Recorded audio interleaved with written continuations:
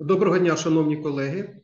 Е, Сьогодні е, відбувається другий день роботи форуму, міжнародного форуму, який присвячений питанням е, повоєнного економічного відновлення України. Враховуючи те, що це питання є комплексним, системним і у процесі відродження України важливими є не лише економічні фактори, але і юридичні, політологічні. Е, ми е, сьогодні е, проводимо засідання нашої панелі, яка називається Юридичний ландшафт повоєнного відродження України. І е, я е, хочу почати це засідання із е, свого виступу невеликого. Е, перед цим хочу зазначити про те, що ми повинні знаходитися у безпечних місцях. У випадку оголошення повітряної тривоги ми маємо переміститися у безпечне місце і продовжити нашу роботу. Е, я е, хочу проінформувати вас про загальні і юридичні рамки, про правове поле майбутнього відновлення України проінформувати про ту ситуацію в законодавстві, яка є на сьогодні, і е, про ті законодавчі ініціативи, які вже є, існують в Україні е, е, з приводу врегулювання законодавчого врегулювання питань повоєнного відновлення України. Необхідно зазначити, що основним законом, е, який врегульовує ці питання на сьогоднішній день, це є закон України про засади державної регіональної політики. Е, саме цей закон е, визначає основні правові, економічні, соціальні, екологічні, гуманітарні та організаційні засади державної регіональної політики як складової внутрішньої політики України і встановлює особливості відновлення регіонів та територій, що постраждали внаслідок збройної агресії проти України. Е, щодо визначення е, термінів відновлення, е, це визначення на сьогоднішній день міститься в двох законах. У цьому законі, який я сказав вам, про засади державної регіональної політики, От і е, в цьому законі відновлення регіонів і територій, що постраждали внаслідок збройної агресії проти України, визначається як е, комплекс першочергових організаційних, фінансових та інших заходів, е, що спрямовуються на прискорене відновлення об'єктів критичної інфраструктури, соціальної інфраструктури, об'єктів житлового та громадського призначення до стану що дозволяє забезпечити повернення в регіон внутрішньо переміщених осіб та біженців, створення сприятливих умов для діяльності всіх суб'єктів господарювання. Е, близьке до цього визначення міститься у законі України е, про регулювання містобудівної діяльності. От, Але я на цьому зупинюся трошки пізніше. І так, е, закон про засади державної про засади державної регіональної політики. Е, у статті 6 е, цього закону зазначається, що одним із напрямків державної регіональної політики є відновлення регіонів і територій, що постраждали внаслідок збройної агресії проти України. Е, наступним важливим нормативним е, аспектом є те, що у сьомій статті цього закону визначається е, система документів державної регіональної політики. І от серед багатьох оцих документів слід виділити плани відновлення та розвитку регіонів і плани відновлення та розвитку територіальних громад. Такі два документи передбачені до розробки. Але в законі України е, про регулювання містобудівної діяльності е, міститься дещо інше формулювання. Там е, міститься формулювання програми комплексного відновлення області, території територіальної громади. От, І це стосується як обласних, так і місцевих програм відновлення територій, які визначають основні просторові, містобудівні та соціально-економічні пріоритети е, політики відновлення і включає комплекс заходів для забезпечення відновлення території відповідної області, території територіальної громади, які постраждали саме внаслідок збройної агресії проти України або в якій сконцентровані соціально-економічні, інфраструктурні, екологічні чи інші кризові явища. От, е, Таким чином, можемо зробити вже перший висновок про те, що на законодавчому рівні необхідно погодити, узгодити між собою ці два визначення, які містяться в законі про засади державної регіональної політики та про регулювання містобудівної діяльності. От, е, В тому законі, який ми зараз з вами аналізуємо, є визначення функціональних типів територій. І от е, важливим є те, е, що серед чотирьох типів територій, які підлягають розвитку в Україні, е, виділена окремою окремим е, пунктом е, території відновлення. Тобто їх всього чотири таких функціональних типів території: це території відновлення.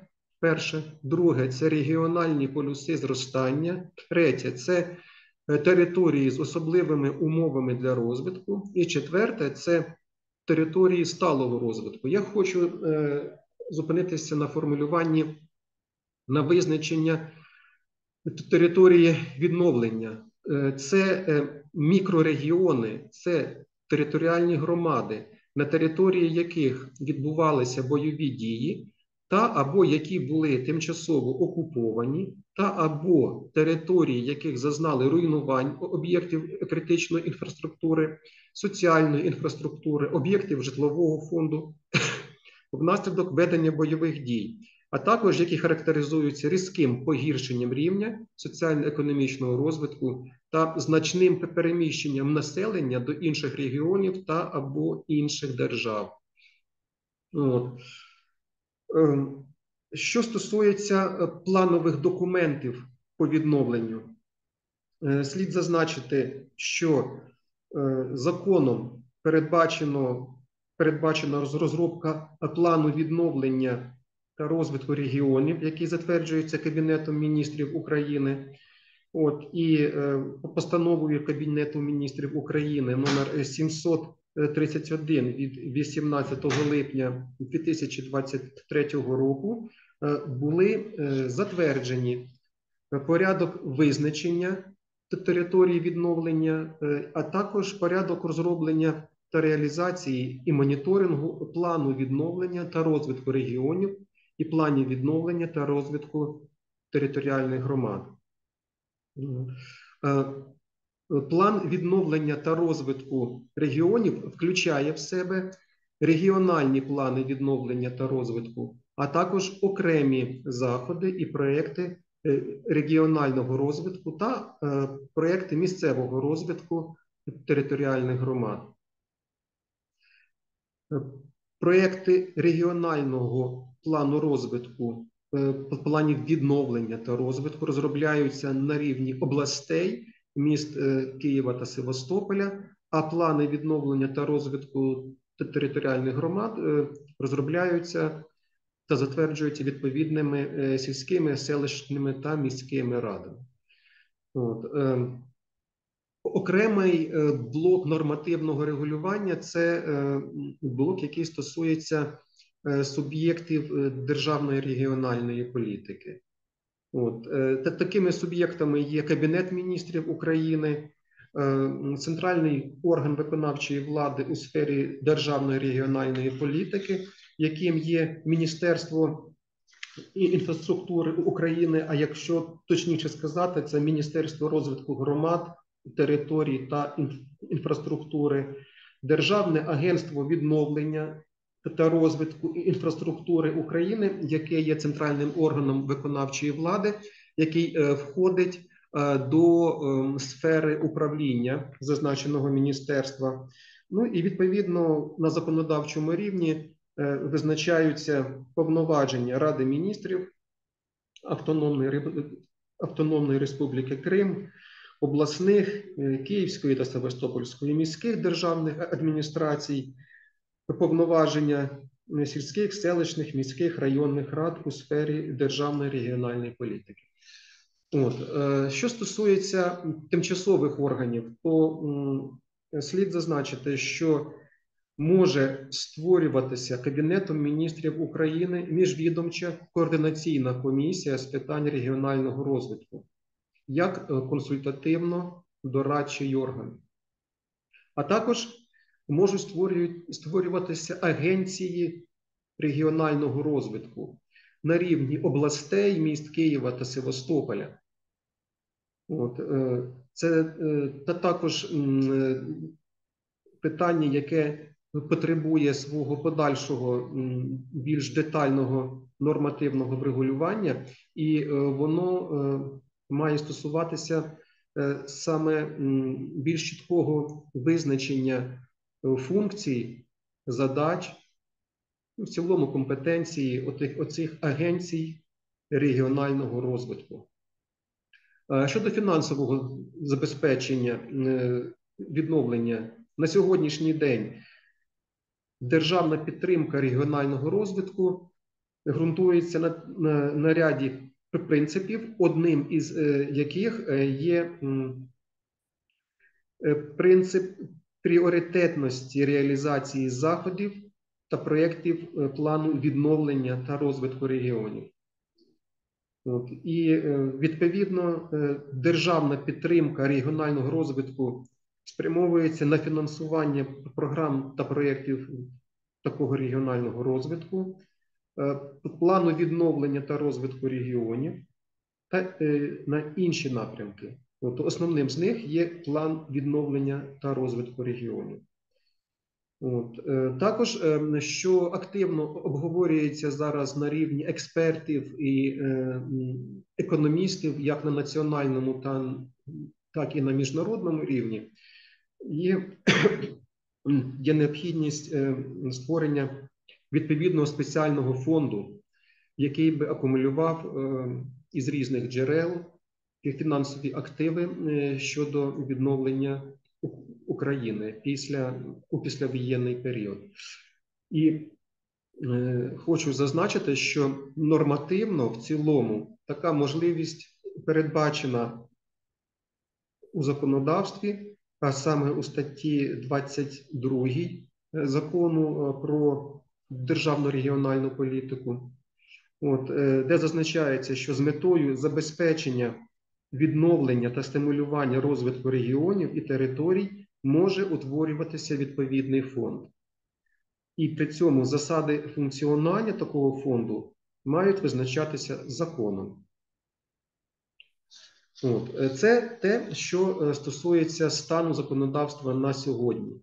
Які є е, перспективи?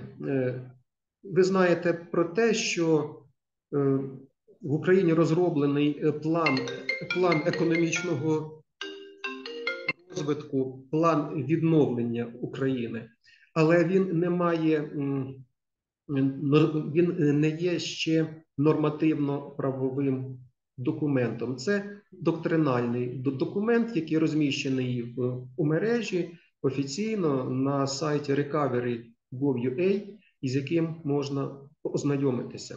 От і основним із принципів е, цього документу є те, що Україна має стати магнітом для інвестицій у повоєнне відродження економіки України.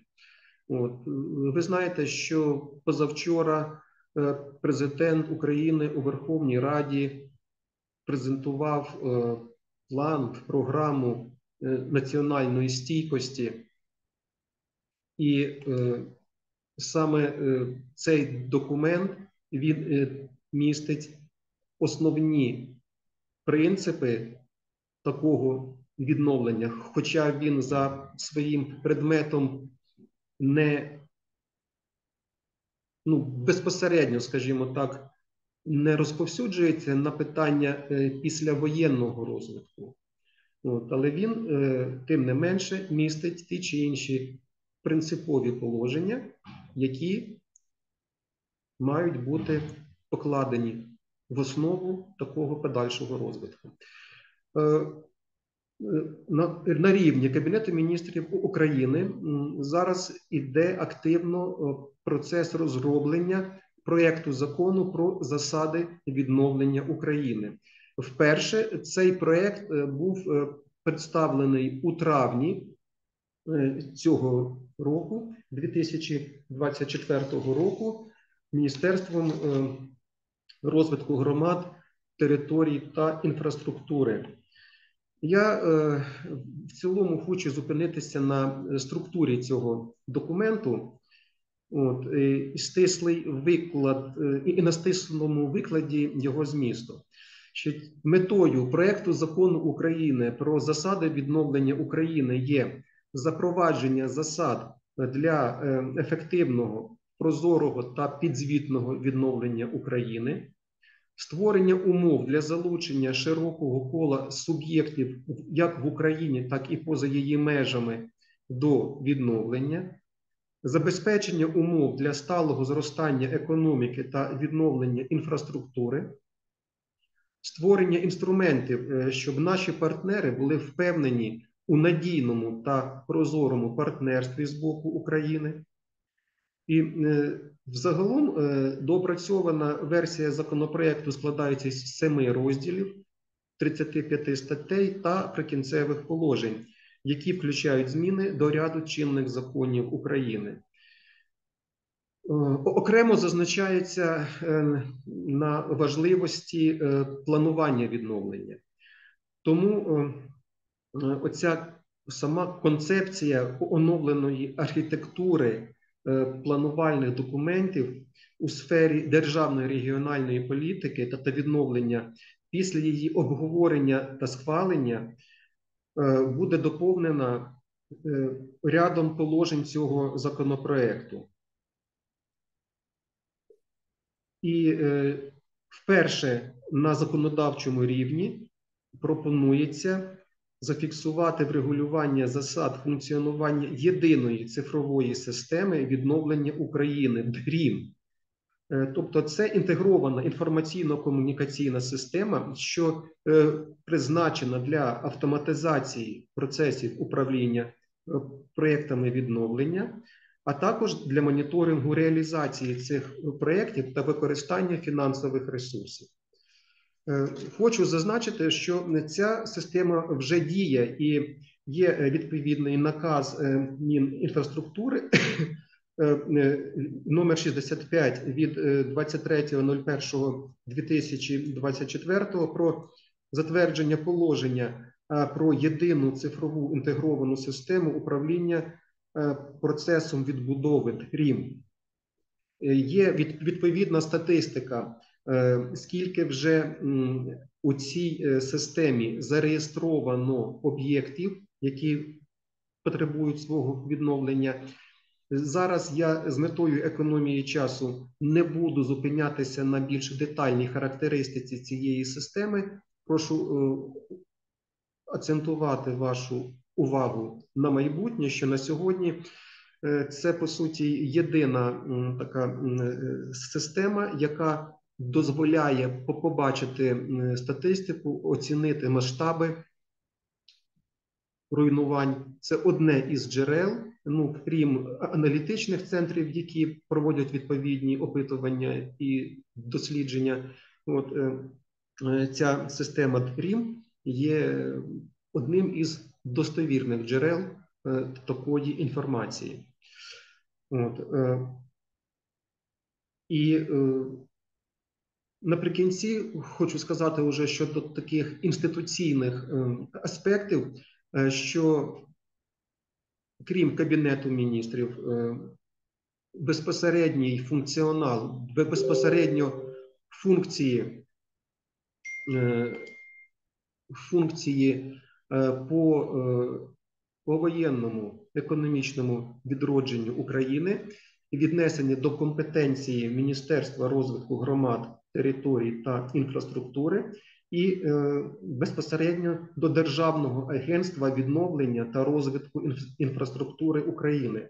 Це центральний орган виконавчої влади, який реалізує державну політику у сфері відновлення і розвитку інфраструктури.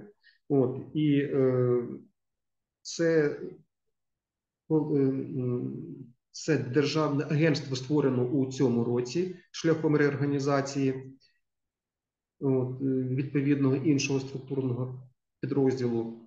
Тому е, слідкуємо е, за нормативною активністю як Кабінету міністрів, ну, як Верховної Ради, так і Кабінету міністрів, а також е, Мінінфраструктури, яке ще називають зараз Міністерством відновлення, та Державного агентства відновлення та розвитку інфраструктури України.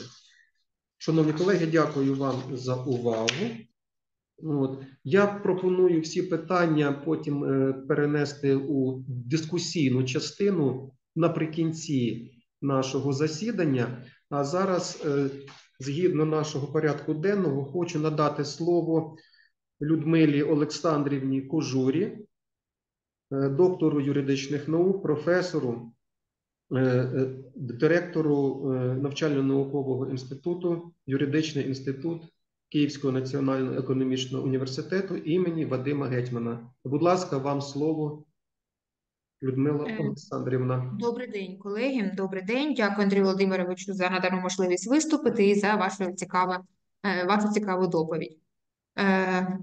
Саме зараз, коли ми обговорюємо це питання і взагалі інші питання винесені на форум, е, Україна вже тисячу і два дні бореться за власне існування та планує майбутнє після перемоги. Робота над відновленням України в цілому, економічним відродженням, зокрема, вже вимагає від держави та громадянського суспільства кропіткої та злагодженої роботи задля трансформації, в якій кожен голос має бути почутим і врахованим. І беззаперечним є той факт, що дотримання прав людини і громадянина є необхідною та обов'язковою передумовою зазначених вище процесів, які вже стартували і які будуть відбуватися в майбутньому.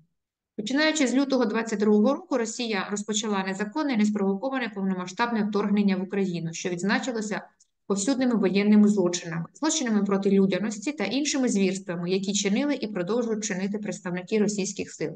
В період 22 року і дотепер російські сили постійно піддавали атакам цивільне населення і цивільну інфраструктуру.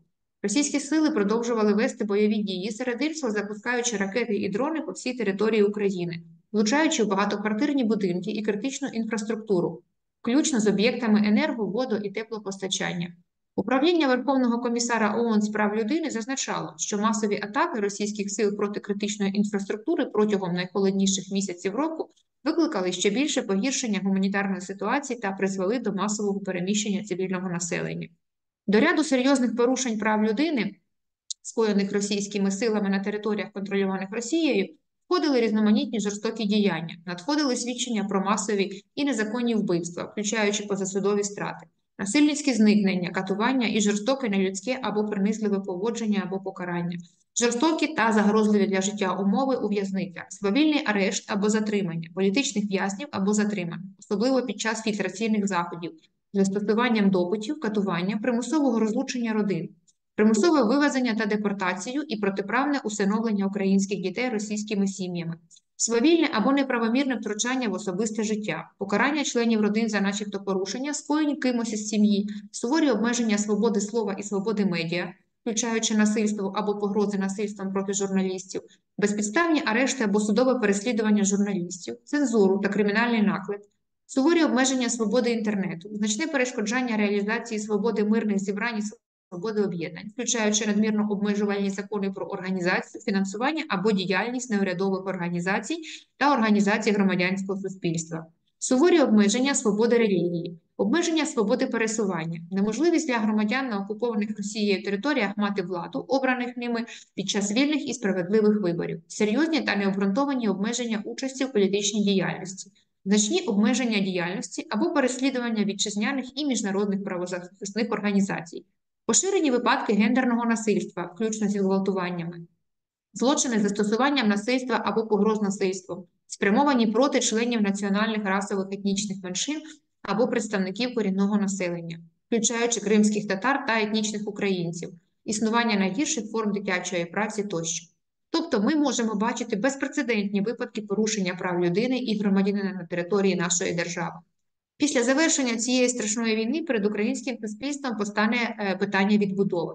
Ми маємо розуміти, що вже ніколи не повернемося до стану справ, який був раніше. Ми будемо завжди, мабуть, завжди вже на нашій пам'яті будемо повоєнною країною. А відтак окремі аспекти нашого майбутнього потребуватимуть не просто відбудови і відродження, а побудови заново і принципово нового. Оскільки державний план відновлення України базується на п'ятьох основних принципах: це негайний початок і поступовий розвиток, нарощування справедливого добробуту, інтеграція в ЄС, відбудова кращого ніж було в національному та регіональному масштабах, стимулювання приватних інвестицій. Розглянемо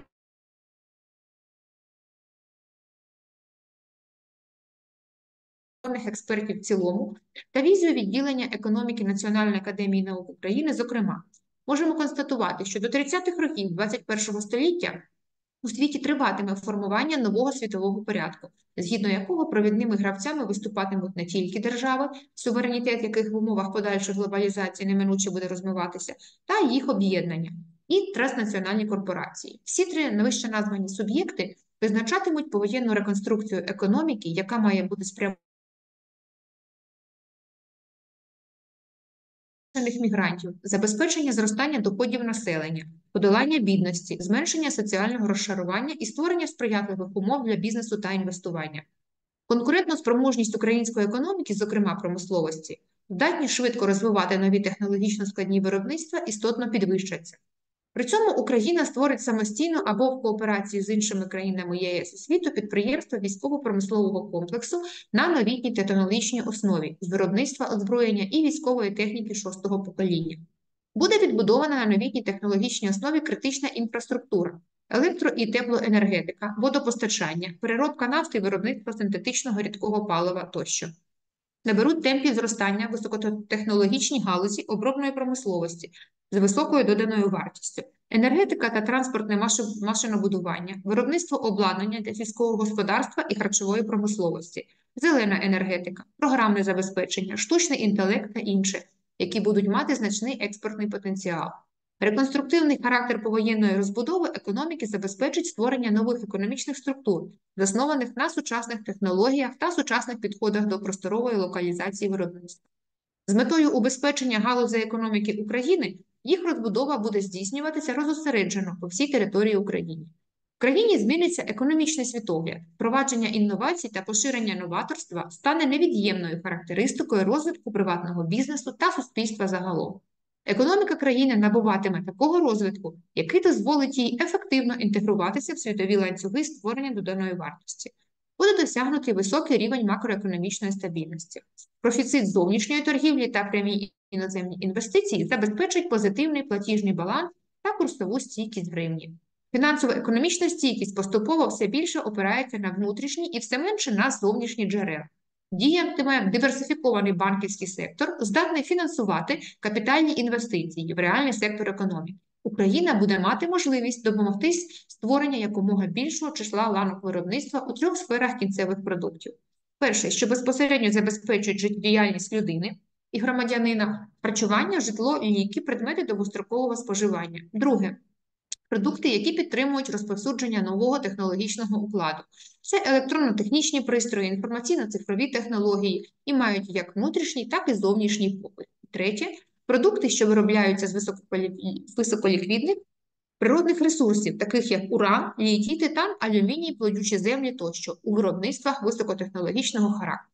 Серед найважливіших напрямів об'єктивних змін, що визначатимуть умови реконструкції економіки України, Можна виокремити розвиток інформаційно-мережевої економіки, що включає розповсюдження інформаційно-цифрових та нейромережевих технологій. Вони зумовлюють суттєві зміни у відносинах власності, формах праці та розподілу результатів виробництва, зміни у формах реалізації інтелектуальної власності, розвиток спільного користування, кластерно-окружний тип організації життєвого простору, дистанційну роботу, безумовний рентно-преміальний види доходів тощо, орієнтацію на енергоефективність, екологічно чисті виробництва, зелену економіку.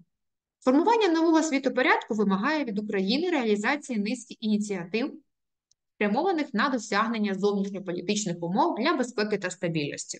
Мова має йти про формування політично коректних та надійних політичних зобов'язань з боку, перш за все, стратегічних партнерів на основі виокремленої стратегічної мети, середовище учасників повоєнного відновлення економіки України.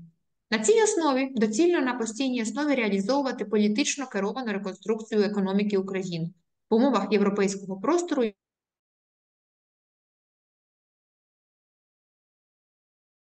праця в боротьбі зі зміною клімату та збереження біорізноманіття з пандеміями, з голодом за домінацією індустрії без використання викопних видів палива. Необхідною умовою забезпечення успішності реконструкції економіки на період до 2030 року є комплементарність зусиль, зусиль держави, бізнесу і громадянського суспільства та поєднання стратегічного планування і ринкової самоорганізації. На структурну політику необхідно зав'язати всі інші політики, насамперед бюджетно-податкову, грошово-кредитну та інвестиційну. Швидкість та ефективність повоєнного відновлення національної економіки визначатиметься з одного боку дієвістю державного управління та регулювання, яке має змінюватися вже під час війни, а ключовою проблемою виступатиме брак власних фінансових ресурсів, обумовлений глибиною економічного складу України. Для трансформації системи державного управління в умовах реконструктивної відбудови повоєнної економіки України необхідними є Поліпшення організації виконавчої влади на державному та регіональному рівнях шляхом зміни у вищій ланці виконавчої влади, завершення реформи державної служби, забезпечення розвитку оборонної промисловості, продовження змін в управлінні державним майном та продовження цифровізації державного управління. Протягом одного повоєнного року сформувати належну систему управління міжнародною фінансовою та технічною допомогою на відбудову за погодженням з донорами. Для вдосконалення взаємодії публічної влади з бізнесом та громадськістю необхідно завершити розподіл влади, провести очищення законодавчої влади, провести етичну ілюстрацію, забезпечити відкриту конкуренцію та протидію рейдерству та реалізувати антикорупційну політику, завершити реформу децентралізації і територіальної організації влади, навести порядок у сфері управління місцевими ресурсами приділити особливу увагу післявоєнному гендерному дисбалансу, адже після війни група жінок буде значно більшою, і це треба буде враховувати. Значно збільшиться група людей з інвалідністю та людей із психічними порушеннями. Тому вже зараз необхідно думати, як ефективніше розбудувати систему надання психіатричної допомоги, як для людей, які повернуться з фронту, так і для інших людей, які пережили травматичні події, пов'язані з війною. Є великий ризик, що після відкриття кордонів чоловіки поїдуть до своїх сімей і залишаться в інших країнах. Тож необхідно передбачити кроки, які слід робити для того, щоб чоловіки е, не виїжджали, а навпаки, повернулися жінки, які наразі виїхали. Тому Україна має стати чутливішою до потреб жінок. Ще одним кроком є необхідність порятунку медичної системи від руйнівних наслідків війни. Вже зараз медична система не може впоратися з такою кількістю поранених. Перепрошую, тож підтримка ветеранів і ветеранок має стати однією з ключових задач.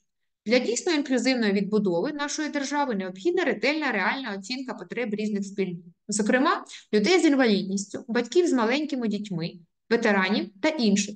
Інклюзія це не просто зібрати в одній кімнаті представників різних спільнот і дати їм можливість висловитися, але після цього подумати, як вбудувати в кожну реформу повагу до різноманіття людей, власне, інтерсекційність та міжсекторальний підхід.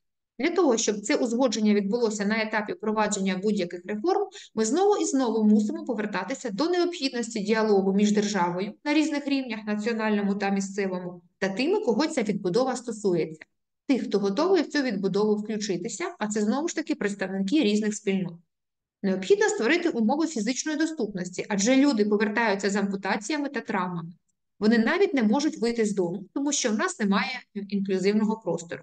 Якщо після російських обстрілів у людей залишився дім, потрібно створити їм можливість цього дому вийти. Причому не просто вийти, а вийти в суспільство і бути корисними, і щоб ці люди відчували себе повноцінними учасниками всіх суспільних процесів, які відбуваються. Крім виконання угоди про асоціацію з ЄС, ухвалення відповідних законів і втілення необхідних реформ, інтеграція в ЄС передбачає імплементацію у повсякденне життя європейських цінностей, серед яких демократія, права людини, свобода, рівність, повага до людської гідності та верховенство права. Отже, нагальною необхідністю є законодавче забезпечення, стимулювання розробки науково-технічної продукції світового рівня і впровадження інноваційної продукції і технології в галузях економіки країни. Створення сучасної екосистеми економіки, що включатиме такі складові, як бізнес-інкубатори та акселератори, наукові та індустріальні парки, кластери та центри трансферу технологій, які б стали осередком створення інноваційних науково-технічних розробок та впровадження їх в економіку країни. Підродження в країні інженерингових центрів, які б могли втілювати науково-технічні розробки, конкретні проекти виробництва високотехнологічної продукції, реформування наукової сфери країни з метою наближення її потреб е, реального сектору економіки і сконцентрувати ресурси у пріоритетних напрямках його розвитку. Розроблення і прийняття в країні реальних стратегій та програм розвитку галузи економіки, які передбачали впровадження сучасних технологій і були забезпечені конкретними ресурсами розвиток логістичних маршрутів через західний кордон, які стануть альтернативою морським шляхам для експортних постачань української продукції, зменшення регуляторного і адміністративного навантаження на бізнес і упровадження інструментів підтримки малого та середнього бізнесу, перегляд антимонопольного законодавства з урахуванням фактичного стану ключових галузях економіки. Створення банку розвитку для фінансування кредитної підтримки, створення високотехнологічних виробництв в обробній промисловості України. Які ж червоні пропорції у вище зазначених е, процесах? Вони наступні: відновлення економіки на застарілій технологічній базі, подальше руйнування наукового потенціалу країни та послаблення ролі вітчизняної науки в розвитку високотехнологічних галузей економіки України. Консервування структурних диспропорцій розвитку економіки України, нехтування розвитком наукової та інноваційної інфраструктури в нашій державі, незабезпечення на законодавчому рівні створення в країні системи стимулів для її інноваційного розвитку на базі власних науково-технічних розробок, відсутність в Україні науково обґрунтованих і наповнених конкретними проектами стратегій і програм розвитку пріоритетних галузей виробництва національної економіки, недотримання та групи порушення прав людини та громадянина. Першочергове завдання розробити дослідження щодо реальних потреб населення загалом і окремих груп щодо відбудови. Це дослідження має лягти в основу практик відбудови, відповідно обговорюватися громадянським суспільством, експертами, урядовим колом і міжнародними партнерами. Уже зараз необхідно розвивати системи інтеграції та соціалізації ветеранів у мирне життя.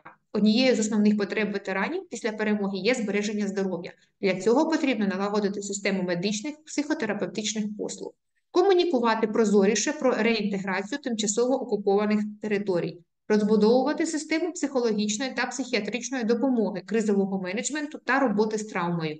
Враховувати, що під час реформування або побудови будь-яких державних політик у центрі завжди має бути людина, а не просто умовна людина. Підхід має базуватися на розумінні, що в державі живуть люди з різними ознаками і що всі вони потребують різних рішень та рівних прав керуватися принципом нічого для нас без нас, втілити в життя роботу з партіями та виборцями, будувати в державотворчі процеси не декларативне, а дієве гендерно орієнтоване врядування з чіткими показниками ефективності залученості. Держава має взяти на себе зобов'язання провести реформу деінституціалізації для дітей і дорослих з інвалідністю та без. Інтернатів, як явище в Україні, немає проводити інформаційні та просвітницькі кампанії, пов'язані з темою інклюзивної відбудови та шанування різноманітності українців та українок, проводити суворішу відповідальність за порушення прав інших людей за дискримінацію та злочини на ґрунті ненавистю. Дякую, колеги.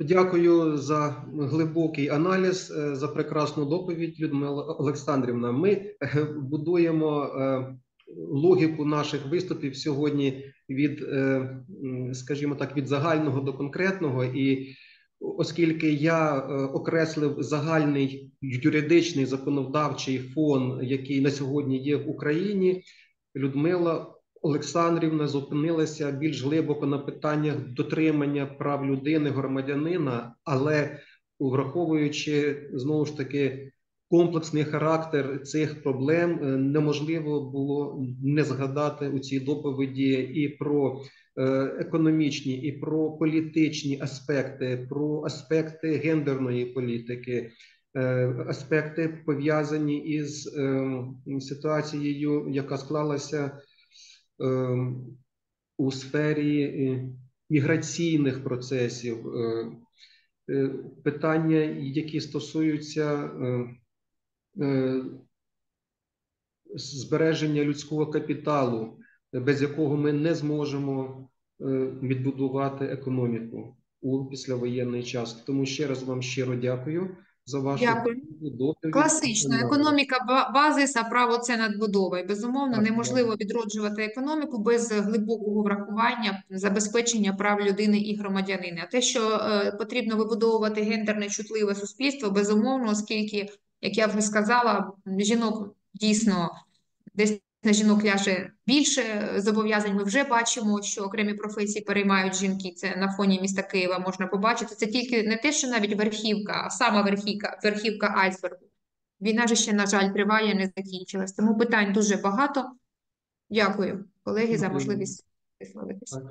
Е, Шановні колеги, е, далі слідуючи е, такій логіці, я хочу надати слово Богданець Аліні Вікторівні, е, яка е, зробить е, доповідь по питанням належного виконання господарських зобов'язань як передумови економічного відродження України. Справа в тому, що наші зарубіжні партнери та і на національному рівні питання ділової репутації, питання доброчесності, питання належного виконання зобов'язань, чи то господарських, е, чи цивільних, чи політичних, чи міжнародних, воно є надзвичайно актуальним.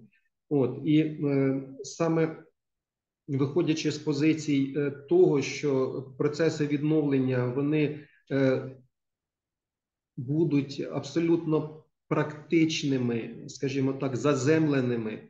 От, тому е, от і е, велику роль у цій е, у цьому процесі, у цих процесах будуть відігравати саме норми е, господарського законодавства, цивільного законодавства. От, і у зв'язку з цим я надаю слово зараз Богданець Еліні Вікторівні, кандидату юридичних наук, доценту, виконуючій обов'язки завідувача кафедри е, приватного права Київського національного економічного університету імені Вадима Гетьмана. Будь ласка, вам слово, Аліна Вікторівна.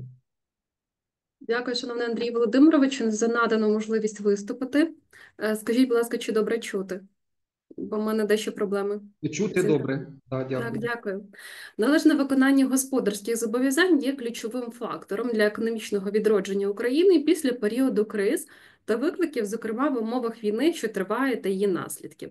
Господарські зобов'язання вони виникають у сфері ведення бізнесу, перш за все, укладання контрактів, надання послуг, виконання робіт, здійснення торгівельної діяльності. Важливе значення для сталого розвитку підприємництва є саме належне виконання господарських зобов'язань що полягає в здійсненні дій або виконанні умов, що визначені безпосередньо господарським договором або іншими правовими актами, згідно з якими одна сторона, в тому числі боржник, зобов'язується вчинити певні дії на користь іншої сторони, в тому числі кредитора.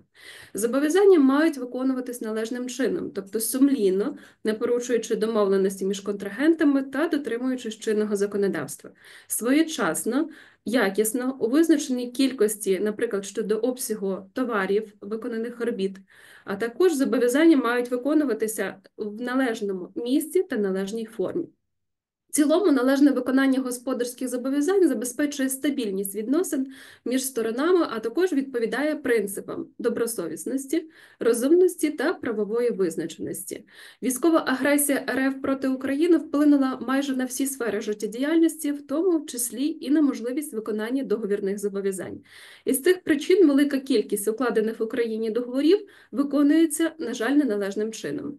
Неналежне виконання господарських зобов'язань під час воєнного стану в Україні може проявлятися в різних формах, пов'язане перш за все складною ситуацією в країні. Порушенням нормальних умов ведення бізнесу, нестабільністю та різними обмеженнями, що накладаються на підприємства та організації.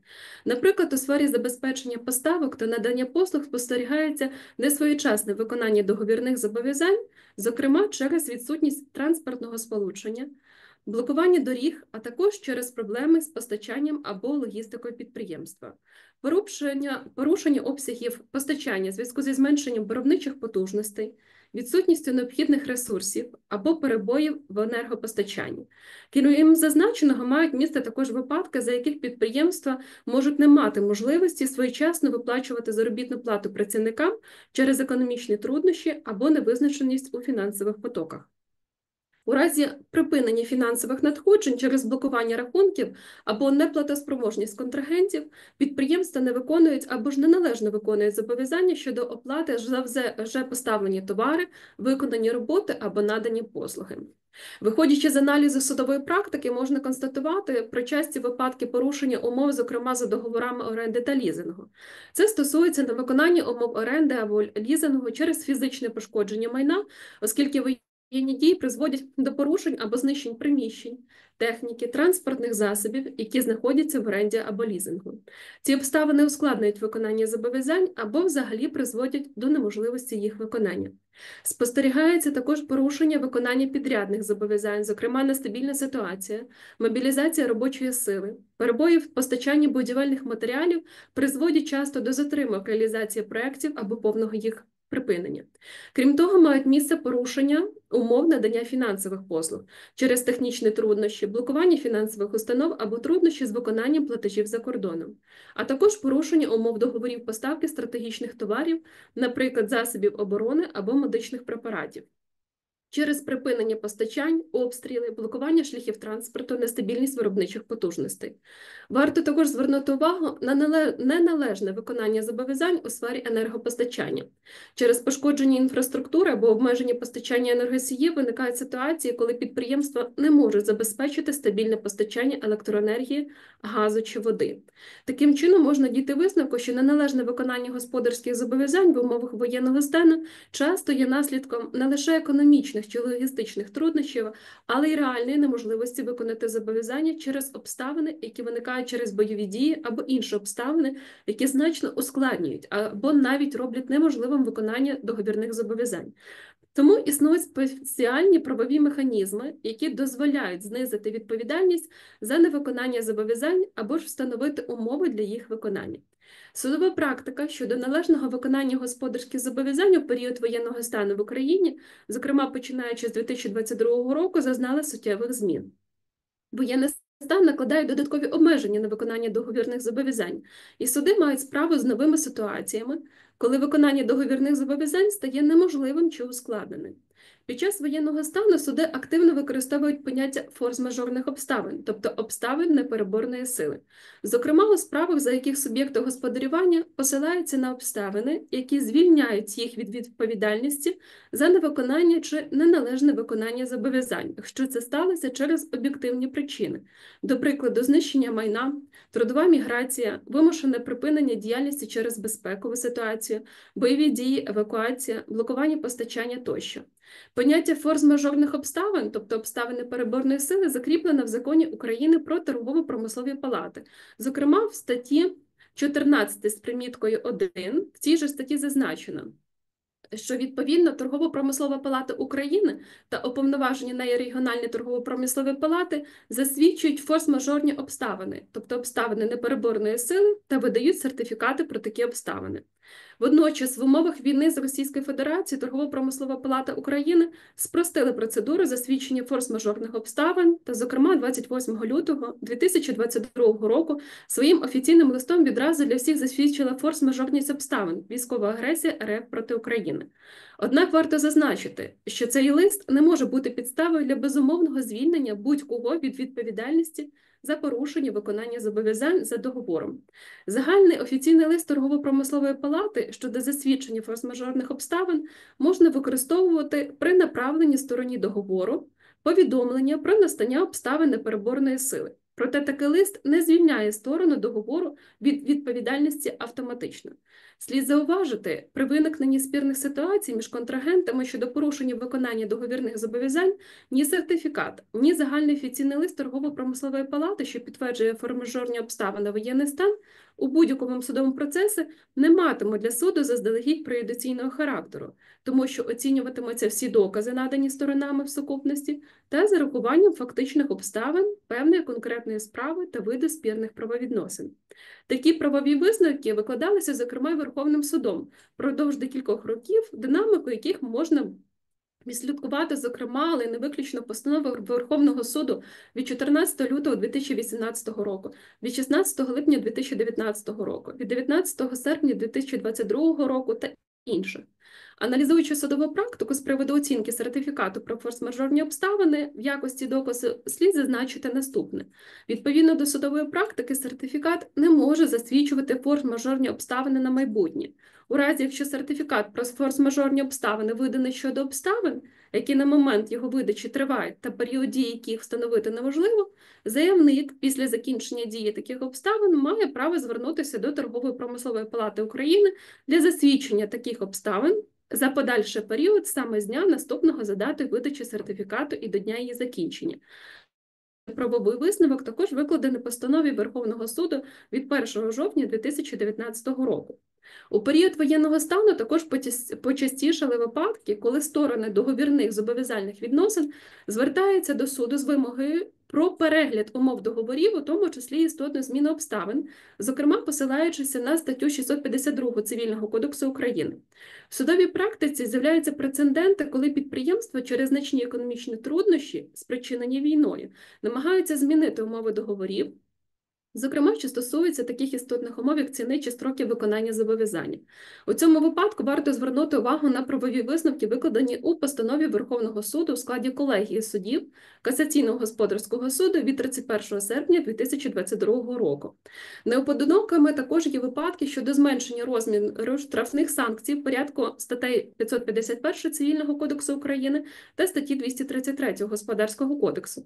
В цьому контексті корисним будуть правові висновки, викладені у постанові Верховного суду в складі колегії суддів Касаційного господарського суду від 23 лютого 2022 року, а також справи, що стосуються розірвання господарських договорів через неможливість виконання зобов'язань, яка спричинена обставинами воєнного стану.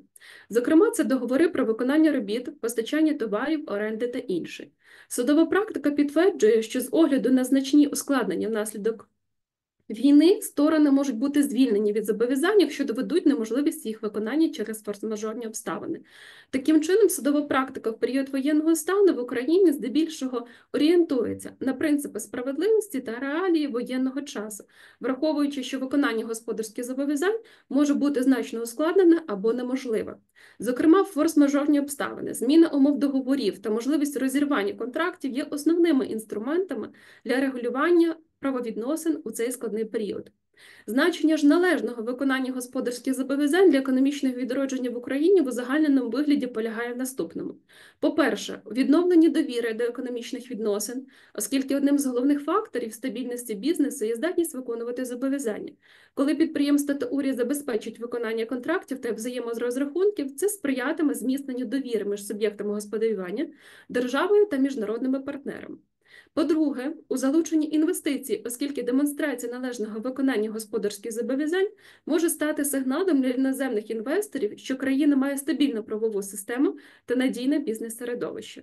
По-третє, у сприянні розвитку підприємництва, тому що для малого та середнього бізнесу, як основи економіки, стабільність виконання зобов'язань забезпечує передбачуваність та знижує ризики, що дозволяє підприємцям сконцентруватися на розвитку власної справи замість боротьби з фінансовими або юридичними труднощами.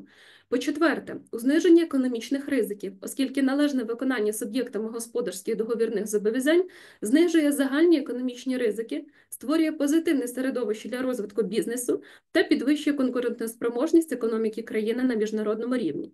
По-п'яте, стимулювання внутрішнього попиту. Виконання господарських зобов'язань позитивно впливає на внутрішній попит, оскільки зменшується кількість неплатежів та дебіторської заборгованості, що підвищує оборотоздатність капіталу та забезпечує стабільність внутрішнього ринку.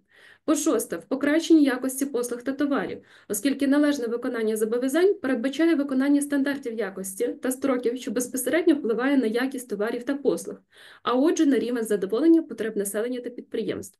Виходячи з зазначеного, можна зробити висновок, що належне виконання господарських зобов'язань є невід'ємною передумовою для економічного відновлення України, оскільки забезпечує стабільність бізнес-середовища, сприяє розвитку підприємництва, залученню інвестицій та підвищенню рівня міжнародної довіри до економіки до нашої держави. У поєднанні з економічними реформами та зміцненням інституційної бази це стане основою для відновлення та модернізації української економіки. Дякую.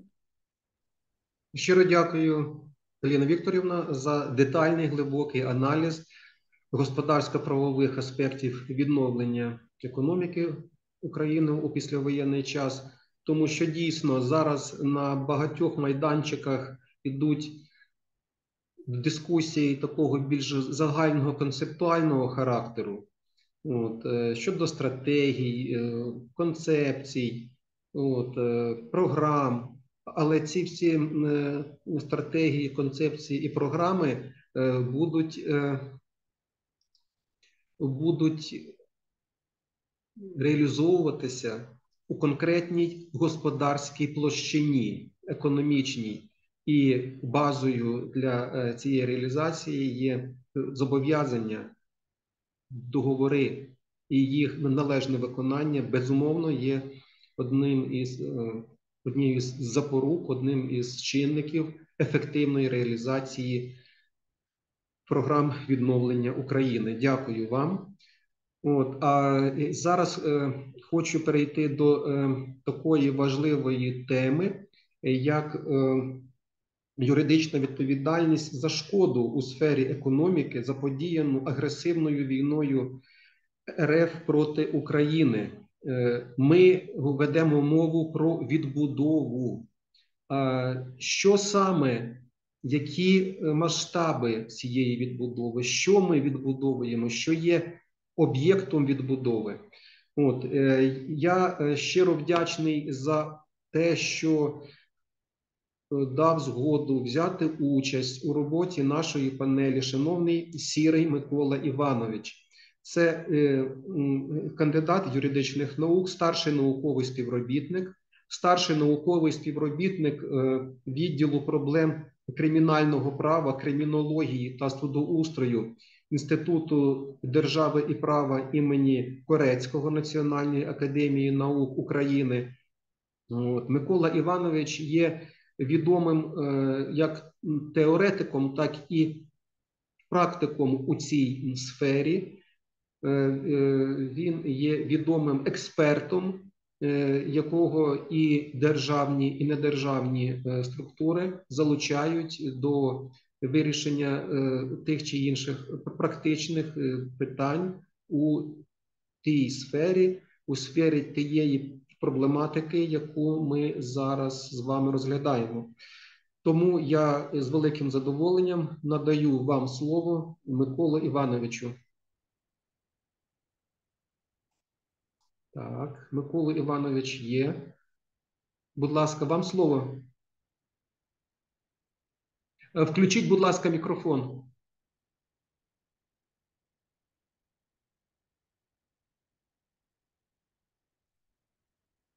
Микола Іванович, у вас мікрофон е, вимкнутий. О, так. Дякую. Знову не чути вас. Подивіться, будь ласка.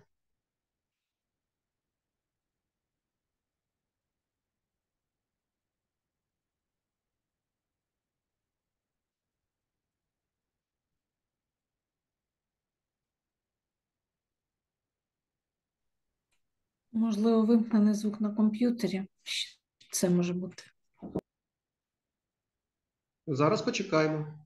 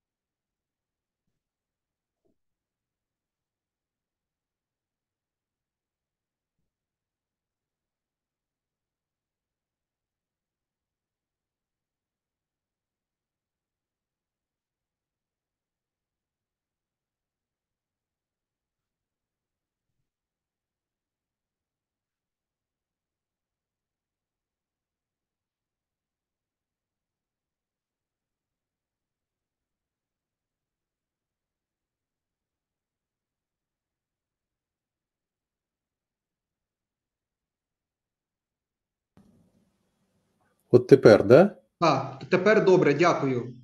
Все. Ви, вибачте, вас, шановний Микола Іванович. вибачте, колеги, за, за затримку. Е, мені приємно приєднатися до е, важливого серйозного обговорення, бути учасником цієї е, конференції, яка, я думаю, е, спричинить е, позитивні наслідки. Е, Нам спільно було би е, вирогідно набагато е, простіше вибудовувати свої позиції, концепції, якщо б ми мали би визначеність в тому, якою у нас зараз економіка є і куди вона рухається. Да? Тобто, яке співвідношення військової економіки і ринкової відкритої економіки станом на сьогодні, і чи ми рухаємося до військової економіки? А ми чуємо дуже багато закликів з цього приводу, і е, ці заклики обґрунтовані наступом ворога. А в такі моменти потрібно збільшувати мобілізаційне начало.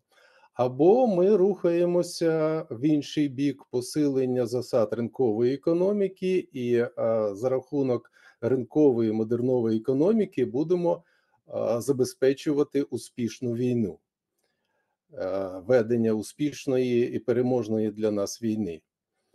Е, е, Безперечно, е, поки ми не маємо визначеності в цьому, нам складно і е, будувати, будувати чіткі стратегії. Ну, але ми намагаємося. Е, Відносно відповідальності, юридичної відповідальності за ту шкоду, яку е, заподіяла Росія Україні, е, сказано багато, зроблено багато.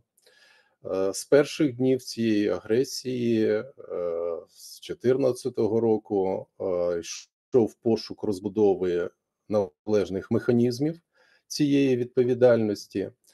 В якійсь мірі цей пошук був успішним, продуктивним, в якійсь, ну скажімо так, виходив на, на певні перешкоди. Ну, скажімо, е, доволі поширеною е, стала практика е, спроби притягти російську державу до відповідальності через рішення українських національних судів, коли особи, які постраждали, зверталися до національних судів через дипломатичні механізми, намагалися повідомити російську державу про початок такого судового процесу, аби держава долучилася до цього процесу, і а, на основі вже вироку ставити питання про відповідальність. Е, Цей механізм е, він і не міг спрацювати, і не спрацював, тому що Росія ігнорувала такі судові процеси, ігнорувала виклики на, е, на ці засідання, і відповідно до сьогодні ігнорує рішення цих судів і на перспективу буде їх ігнорувати. Продуктивним і дієвим був шлях відстоювання правди, справедливості і відшкодування е, через е, систему міжнародної юстиції. Зокрема, в тих випадках, коли а, підписуючи міжнародні конвенції, Росія ставила свій підпис і визнавала юрисдикцію в конвенції, визнавала юрисдикцію певного міжнародного суду. Тобто, визнання юрисдикції наперед дає можливість автоматично включати в роботу міжнародний механізм відповідальності, коли країна, яка постраждала, звертається до цього вже наперед визначеного суду про факт порушення конвенції. Такий механізм працює. Натомість, е, що стосується факту агресії, то Росія не підписала жодного міжнародного акту за свою практику, в якій би вона би наперед визнала юрисдикцію будь-якої міжнародної судової інституції над собою за акт агресії. Відтак, механізм ускладнюється, тому що е, в основі міжнародного правопорядку лежать засади суверенності, і якщо країна не визнає юрисдикцію на добровольній основі, то відповідно міжнародний механізм загальмовується. Як ми з вами знаємо, станом на сьогодні е, порушено е, провадження е, щодо цілого ряду осіб в міжнародному кримінальному суді, зокрема, видані оприлюднені ордери, ордери на Путіна як главу держави і ряд інших осіб. Але цей е, процедурно цей механізм зможе рухатись далі лише тоді, коли е, дані особи фактично постануть перед судом. До того моменту, поки вони не постануть перед судом, фактично провадження зупинено, і це зупинення може тривати е, доволі е, тривалий час, тобто десятиріччями може тривати. Нам би хотілося, аби механізм притягнення до відповідальності за шкоду заподіяною актом агресії був досконалим і, і, і працював як, як добрий годинник. На жаль, е, ми сьогодні з вами є сучасниками того, що ми бачимо, що механізми притягнення до відповідальності агресора, які були сформовані за результатами Другої світової війни, вони фактично були а, орієнтовані, спрямовані на відповідальність країн а, слабкої економіки і слабкої військової потуги. А е, країни, е, так би мовити, найвищого рангу самого початку закладали механізм, що вони будуть поза межами цієї відповідальності. І от фактично ми з вами і, і спостерігаємо ситуацію, коли вже завершується третій рік повномасштабної війни, колосальні руйнації в нашій країні, заподіяно колосальну шкоду економіці. Президент звернув увагу на те, що ця шкода вже досягла 800 мільярдів доларів. Я думаю, що е, ця цифра дещо зменшена для того, щоб ну, президент йшов по нижньому порогу для того, щоб не викликати якісь додаткові, додаткові е, дискусії. Тобто, ця е, цифра величезна. І е, постає питання, наскільки є можливість притягнення е, до відповідальності винних осіб. Ну, е, в загальному спектрі е, е, механізмів відповідальності, безперечно, скажімо, окремо стоять військові злочини. За військові злочини станом на сьогодні біля 20 країн вже розпочали провадження відносно конкретних осіб, провадження персонального характеру. Ми збираємо активно докази. Але е, притягнути до відповідальності е, військового е, або військову частину за заподіяння е, руйнації, е, так це в перспективі. Я думаю, що буде результативним, буде мати, буде мати сенс. Але е, на що спрямовувати е, е, вимоги? Пов'язані з відшкодуванням шкоди. Ну, безперечно, військові частини і теж саме там якісь там військові з'єднання чи окремі військовослужбовці вони е, не мають ресурсів, і безперечно, це питання буде е, стосуватися тільки індивідуальної відповідальності. Відтак, е, ключовий момент він пов'язаний з актом агресії, тобто притягнення Росії за вчинення акту агресії.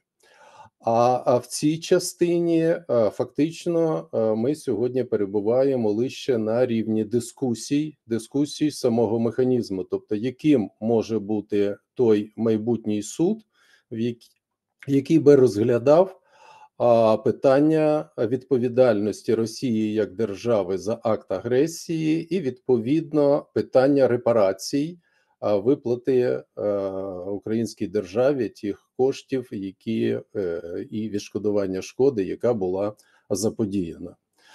І е, якщо до останнього часу, поки тривали дискусії в Сполучених Штатах, е, ми більше розмірковували відносно формату цього суду, то станом на сьогодні питання ще більш гостро стоїть.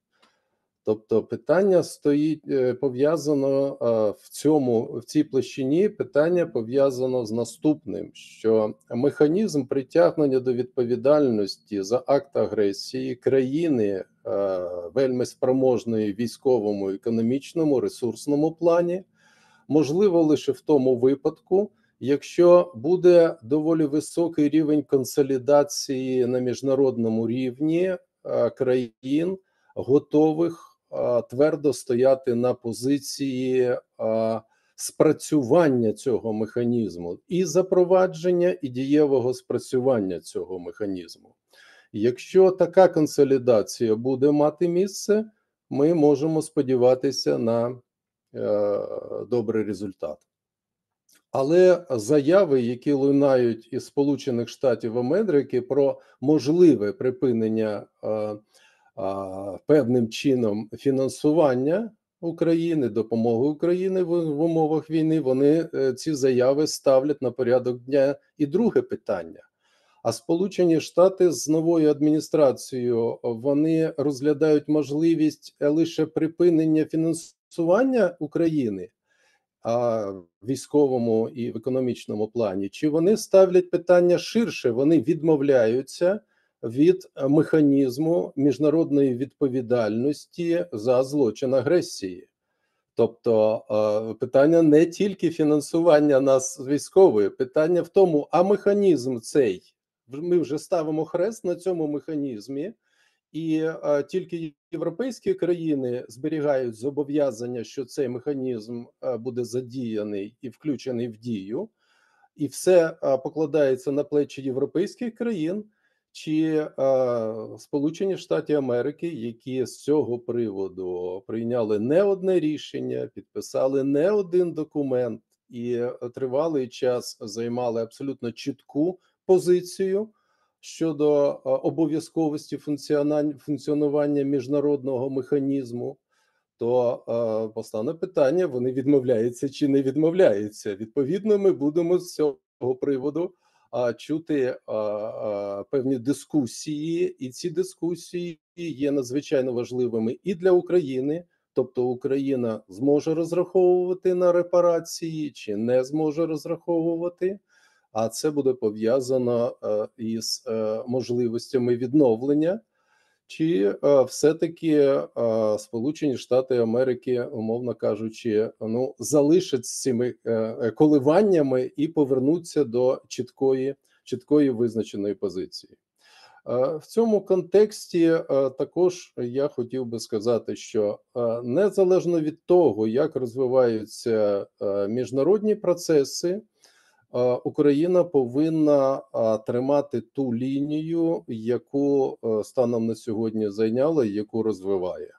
Ну, зокрема, ще е, е, в 2017-2018 роках абсолютно правильну тезу висловив і відстоював професор Володимир Андрійович Василенко про те, що за результатами в процесі і за результатами цієї агресії Україна має сформувати консолідовану претензію до країни-агресора. Тобто, ми не повинні йти на половинчити якісь е, домовленості. Ми маємо сформувати консолідовану повну претензію, яка би включала всю шкоду заподіяну і заподіяну матеріальним об'єктам, і нез- незаконне використання наших ресурсів, відповідно втрати, які е, втратила українська економіка через те, що вона була обмежена, вона а, не мала можливості повноцінно функціонувати в міжнародному просторі. Тобто, ця претензія має включати всі види шкоди. Я думаю, що ми повинні триматися цієї позиції, окреслювати на всіх рівнях, на всіх форумах. Ну і відповідно, другий момент, е, мені видається, я завершую свій виступ, е, був би важливий для України, якщо б Україна все-таки започаткувала власний міжнародно-правовий механізм притягнення до міжнародної відповідальності. Такі механізми, скажімо, е, біля 30 країн мають. Коли країна не чекає розпочати е, розпочатку роботи міжнародної інституції, а має внутрішню систему притягнення до міжнародної відповідальності. Відповідно, має спеціалізованих прокурорів і спеціалізовані суди, яка які за міжнародно-правовими процедурами притягують осіб, які вчинили міжнародні злочини до відповідальності в відкритий прозорий спосіб і за належними міжнародними процедурами. Тобто, якщо би ми зробили крок в цьому напрямку, я думаю, що це було би також правильно. Дякую, дякую за можливість виступити. Е, На жаль, бо мені хотілося б більше позитивного сказати, але е, доводиться констатувати, що е, поки що проблем доволі багато в цій сфері. Ну, Так. Дякуємо, е, шановний Микола Іванович. Е, Ще раз хочу колеги нагадати, Микола Іванович є визнаним експертом у цій сфері, і е, безумовно, е, оці питання притягнення до відповідальності, в тому числі за економічні е, збитки, за економічні втрати, тому що тут, е, як правильно було зазначено, питання в комплексі необхідно розглядати. Тут не лише відповідальність за економічні злочини, тут багато інших видів злочинів скоєно.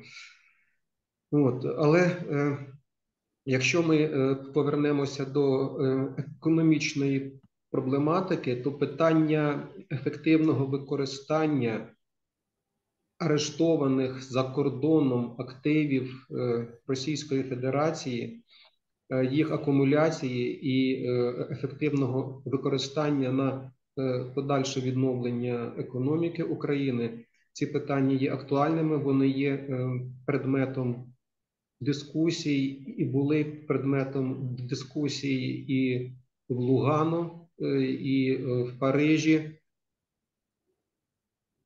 і в Берліні на відповідних міжнародних форумах е, по відновленню України.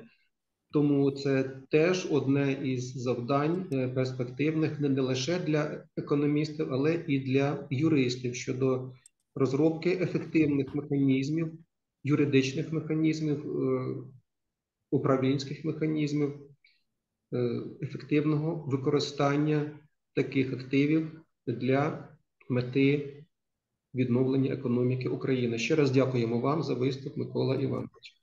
Е, Наступна проблематика, колеги, це питання, які стосуються загальної інституційної спроможності демократії в Україні на етапі повоєнного відновлення. Як я вже зазначав сьогодні, питання економічного відродження України вони є комплексними, міжпредметними. І е, якщо ми ми розглядаємо питання, пов'язані із е, е, економікою і з правом у цій сфері, ми не можемо не обминути політологічні аспекти е, цієї, е, цієї проблематики. Тому я хочу надати слово е, Вірі Анатоліївні Гапоненко, доктору політичних наук, професору завідувачу кафедри політичних технологій Київського національного економічного університету імені Вадима Гетьмана з темою доповіді Інституційна спроможність демократії на етапі повоєнного відновлення. Вам слово, будь ласка, Віра Анатоліївна. Щиро дякую колеги за можливість взяти участь у такому поважному заході. Е, Вітання всім присутнім. Підкажіть, будь ласка, чи я можу поширити презентацію? Зараз я спробую е, це дозволити. Е, Насправді вже дуже багато з того, що я планувала озвучити, було сказано колегами, тому моя доповідь буде до певної міри узагальнююча. Стосується вона насамперед питання того, наскільки в повоєнний період ми можемо зберегти е, наш е, е, демократичний вектор. Андрій Володимирович, мені здається, що ви свою демонстрацію запустили, а вам треба Зараз, натиснути на, на моє прізвище і там дозволити Зараз. презентацію. зараз я все зроблю. Дякую. Дякую, дякую. Зараз так. Наразі Ну. мені ця опція недоступна. Якщо Зараз так. можу без презентації, але в мене є там такі деякі цифри, які було б наглядніше. Зараз.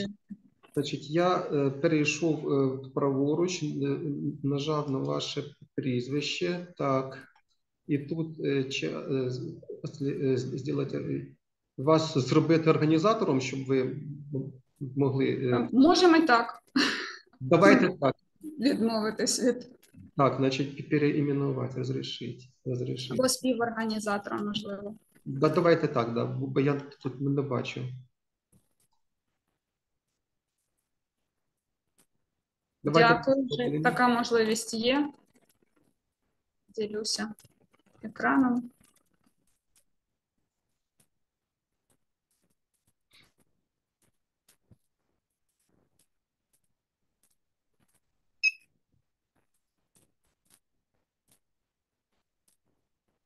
Підкажіть, будь ласка, чи видно? Видно і чутно. Все добре. Ну, е, хотіла би почати з того, що у медійному дискурсі ми дуже часто чуємо тезу про те, що е, українсько-російська війна це до певної міри е, також і війна між авторитаризмом і демократією, оскільки е, переважно е, блок країн, які підтримують е, Російську Федерацію у е, цьому протистоянні, вони є авторитарними е, за своїм політичним режимом. Що ж до е, України, то її пере- переважно підтримують е, європейські країни, країни північноамериканського континенту, які вважаються традиційними розвиненими демократіями. Звісно, на цьому перелік союзників не вичерпується однак правомірною є точка зору, що ми протягом всієї нашої історії балансуємо між е, більш авторитарними практиками і більш демократичними. І сьогодні ми святкуємо е, День гідності і свободи. Дуже для нас така знакова подія, оскільки з різницею в 9 років е, відбулися достатньо такі переломні моменти в українській історії. І безумовно, що українсько-російська війна це ще одна точка біфуркації, яка нам задає майбутній вектор нашого розвитку і е, інституційного, і політичного, і правового, е, який е, може нас або ж надати нам як новий виток, прискорити певні реформи, певні можливості виходу із кризової ситуації, або ж навпаки, затягнути нас у воронку гібридності, коли сполучення формальних ознак демократизації буде пов'язано із фактичним звуженням певних свобод. Безумовно, що е, такий ризик у е, будь-якому в умовах воєнного стану він зростає. І е, з повномасштабного вторгнення, ну переважно сказала би е, увага західних партнерів, але і е, громадськості загалом також прикута до питання про те, чи не занадто великими є обмеження, які е, об'єктивно існують у в умовах воєнного часу і воєнного стану. Колеги вже згадували про ті е, слабкі сторони захисту прав людини, про е, ті обмеження, яких е, зазнала українська і спільнота, і держава загалом е, в умовах воєнного протистояння. Тому я не повторюватимусь. Е, Однак скажу, що е, питання е, є достатньо актуальним і е, дискусійним з точки зору того, наскільки в подальшому ми е, готові е, не тільки на словах і в медійному просторі цю демо- демократію відстоювати, але і імплементувати її е, в інституційний і політичний розвиток.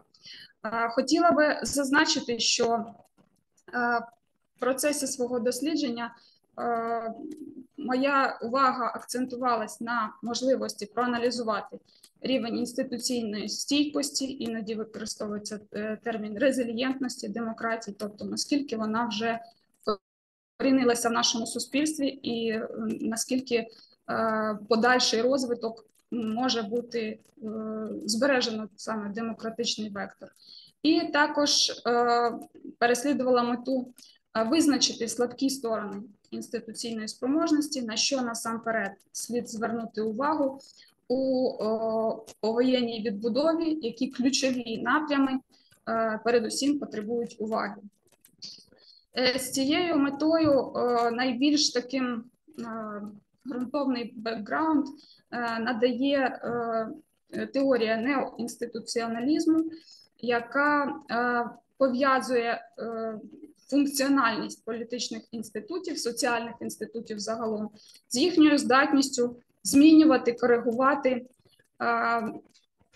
поведінку е, різних акторів, е, як громадян, так і е, офіційних структур.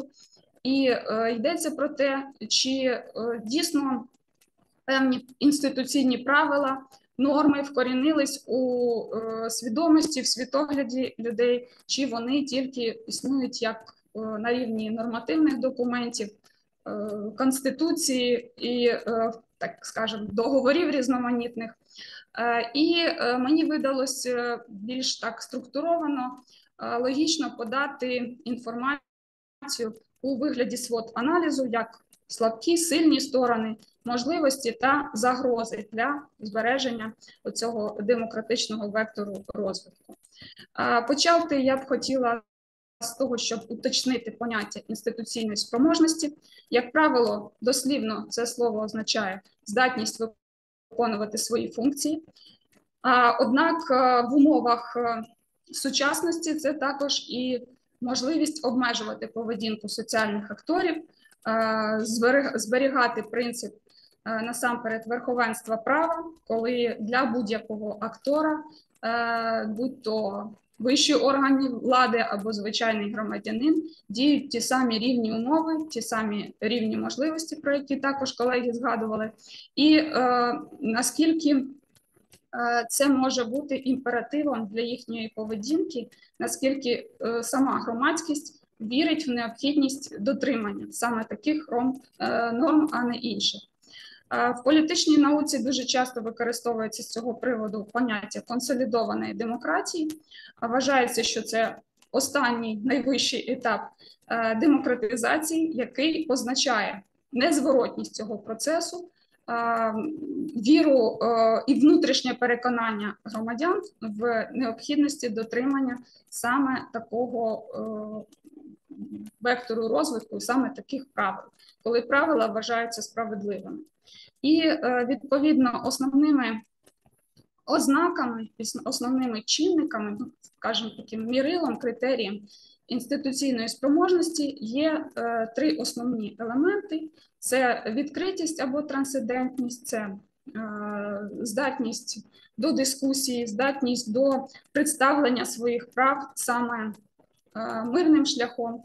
Через політичні інститути, через різно- різноманітні звернення, через е, е, громадянську участь, е, через діяльність громадських організацій, політичних партій, груп лобі, які можуть донести свою позицію, позицію своєї соціальної групи до органів влади. Простіше кажучи, коли не потрібно для вирішення якоїсь конфліктної ситуації або для досягнення своїх інтересів застосовувати якісь неконвенційні форми, методи боротьби, е, різні види насильства, коли власне е, методи існують у правовому полі. Другий важливий критерій це легітимність органів влади. Достатньо е, складним є саме е, цей, критерій, оскільки в Україні е, за роки незалежності майже не було ситуацій, е, коли майже завжди є від'ємним баланс між довірою і недовірою до вищих інститутів саме політичної влади. Як правило, всі президенти приходять на хвилі достатньо високого рівня підтримки, однак цей рівень достатньо швидко спадає, і е, приходимо ми до того, що до наступних виборів е, рейтинги президентів є е, достатньо низькими. Ну, е, на е, цьому е, зосереджу увагу трошки е, пізніше. І е, поняття таке, як адаптивність, воно означає, що всі інститути е, політичної системи, соціальної системи працюють в такий спосіб, коли при зміні е, чинників зовнішнього середовища, е, будь-яких кризових явищах, е, система може самостійно знаходити шляхи виходу з цієї кризи, коли вона може не руйнуватися цілком, а повністю, а лише пристосовуватись певні свої функції, свої інститути, структуру загалом до нових вимог і обставин. Важливо зазначити, що пункт адаптивності він є дуже важливим для сучасної України з огляду на стрімкі процеси, на стрімкі зміни. І е, можемо говорити про те, що і в світових масштабах е, назріли певні зміни, і в міжнародних відносинах е, спостерігається деяка невизначеність, е, як мінімум, і е, власне можливість маневрувати, можливість виживати в умовах такої глобальної турбулентності, вона також є доволі важливим показником мірилом, наскільки ефективно інститут виконує свої, свої, свої функції. Е, Що ж до е, практики е, світової, також вже згадували кейси і Першої, і Другої світових воєн, і е, те, що е, теж була певна, ну не те, що загроза, а тенденція до е, припинення е, і ускладнення процесів демократизації. Якщо говорити термінологією Хантінгтона, то певний відкат у розвитку демократії, який потім по завершенню воєнних дій призвів до нової хвилі і до е, ухвалення цілої низки е, міжнародних документів, які до сьогодні є фундаментальними принципами е, демократії і які визначають суть цього поняття. До основних визначальних чинників в умовах кризи, е, на мій погляд, ва- варто віднести такі позиції, як згода щодо основних національних цінностей, ну і взагалі е, такий суспільний консенсус, який дозволяє мобілізувати всі сили і ресурси в одному напрямі. А З початку повномасштабного вторгнення е, за цим критерієм, безумовно, е, ми спостерігаємо е, значний приріст, оскільки перемога над зовнішнім ворогом, досягнення справедливого миру, вона принаймні призупинила дискусії, розділення між якимись е, штучними поділами, які існували до цього часу. До прикладу, там східні і західні е, регіони України, вони однозначно е, мають на меті одне і те саме. Е, Це також згуртованість різних соціальних груп. Е, Йдеться про так званий соціальний капітал, який е, дає змогу в умовах довіри однієї соціальної групи до іншої і загалом атмосфери довіри у суспільстві досягати більш високих результатів. Коли людина, певний громадянин, е, соціальна група готова вкладати е, в суспільне благо для того, щоб в перспективі отримати е, загаль, загалом більш позитивний результат і більш високих досягнень. Тут, до прикладу, можуть бути наведені стратегії і методики так званої шокової терапії, коли, скажімо, країни Центрально-Східної Європи більш швидко долали період пост радянської, постсоціалістичної, вибачаюсь, перебудови розрухи, саме завдяки налаштуванню на е, те, що більш високі цілі е, можуть бути досягнуті через поступки з боку там, більш корпоративних і е, особистих інтересів. Важливим показником демократії є також висока громадянська активність, яка також важливим елементом є для контролю за органами влади, е, для е, стабільної ситуації. І, е, безумовно, також українська практика вона демонструє достатньо високу роль громадянського суспільства, яка перебирає на себе частину державницьких функцій там, де держава виявляється або занадто повільною, або неспроможною, або відсутні певні практики. Це е, волонтерська благодійна діяльність, яка е, достатньо важливим чинником є виживання системи загалом. І це високий рівень політичної свідомості, культури, е, яка перешкоджає можливості, здатності наростання популістських тенденцій, зростання демагогів у суспільстві, і яка е, також є можливістю запорукою того, що е, критичне мислення і е, певні е, самостійні висновки вони е, не, дадуть змогу е, звужувати демократичні цінності, демократичні права, е, навіть в умовах тривалого воєнного часу, який ми нині переживаємо. Що ж до е, більш конкретних е, ци- аргументів, цифр, е, то хотіла би е, зупинитися на таких ці- е, цінностях і чинниках. Очевидно, в мене щось із з'єднанням, тому що перестала рухатись моя презентація. Щодо е, можливості е, оцінити рівень легітимності, то хотілося б згадати е, насамперед цікавий кейс і цікаву ситуацію із нашим і головнокомандувачем, і главою держави, який е, е,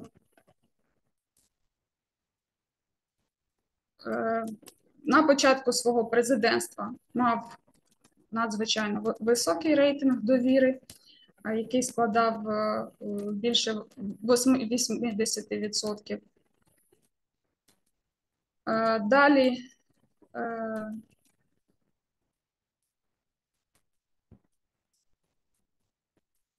цей е, рейтинг е, змінювався у е, бік зниження і до початку повномасштабного вторгнення станом на лютий 2022 року складав близько 37%. Після початку повномасштабного вторгнення рівень легітимності знову таки злетів.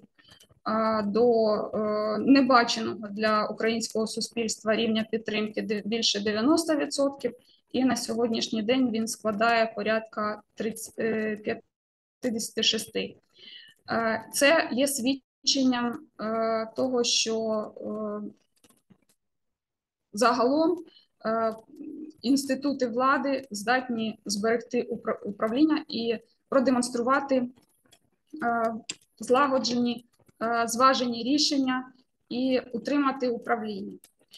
Щодо сильних сторін, які є які дають змогу робити висновок про е, позитивні е, зрушення або принаймні збереження демократичного е, вектору, то це факт зростання згуртованості щодо основних цінностей, оскільки подолання воєнної загрози є потужним інтегруючим чинником, а також високий рівень суспільної і громадянської активності. Щодо можливостей, то без, безумовно це кейс і е, приклад того, що на попередніх етапах історичного розвитку е, в посткризовий період е, на етапі відновлення цей процес здійснювався за рахунок конкурентоспроможності, за рахунок динаміки, яка найбільшою мірою притаманна демократії, оскільки саме принцип, коли перемагає найкраща пропозиція, найбільш актуальна, найбільш конкурентна, вона е, є такою життєздатною і здатною забезпечити динаміку суспільно-політичного розвитку.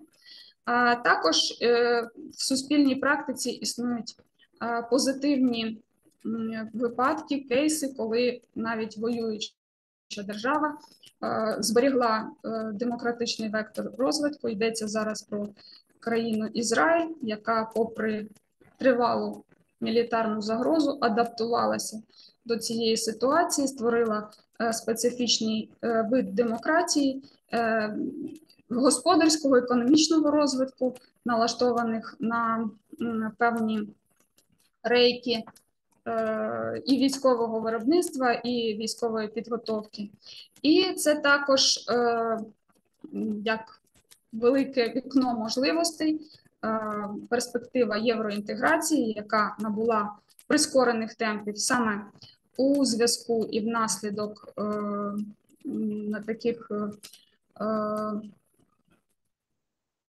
мілітарних загроз, коли, скажімо, е, як факт е, підтримки, як фактор безпековий, е, е, активність в напрямку е, євроінтеграції збільшилась, і можливості, які нам надаються партнерами, також стали більш, більшими і відкритішими.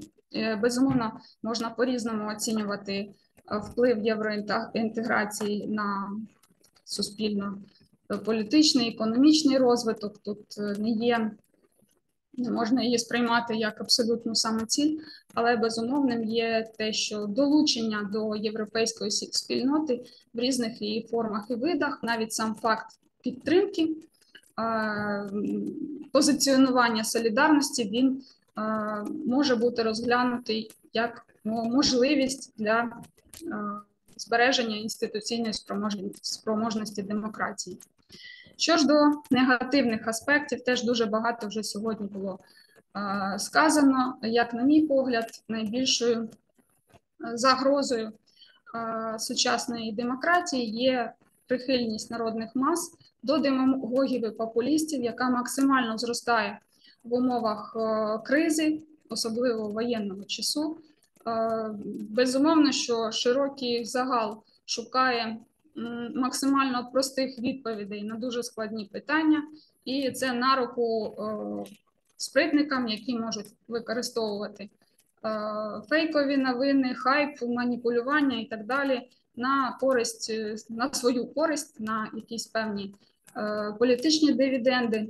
І, власне, немає такої правової норми, яка би заборонила популізм або віру от в якісь брехливі, е, навмисно спотворені інформаційні повідомлення. Це лише на рівні е, особистого сприйняття, критичного мислення і здатності протистояти спокусам, е, вірити або навпаки не вірити в те, що є очевидним.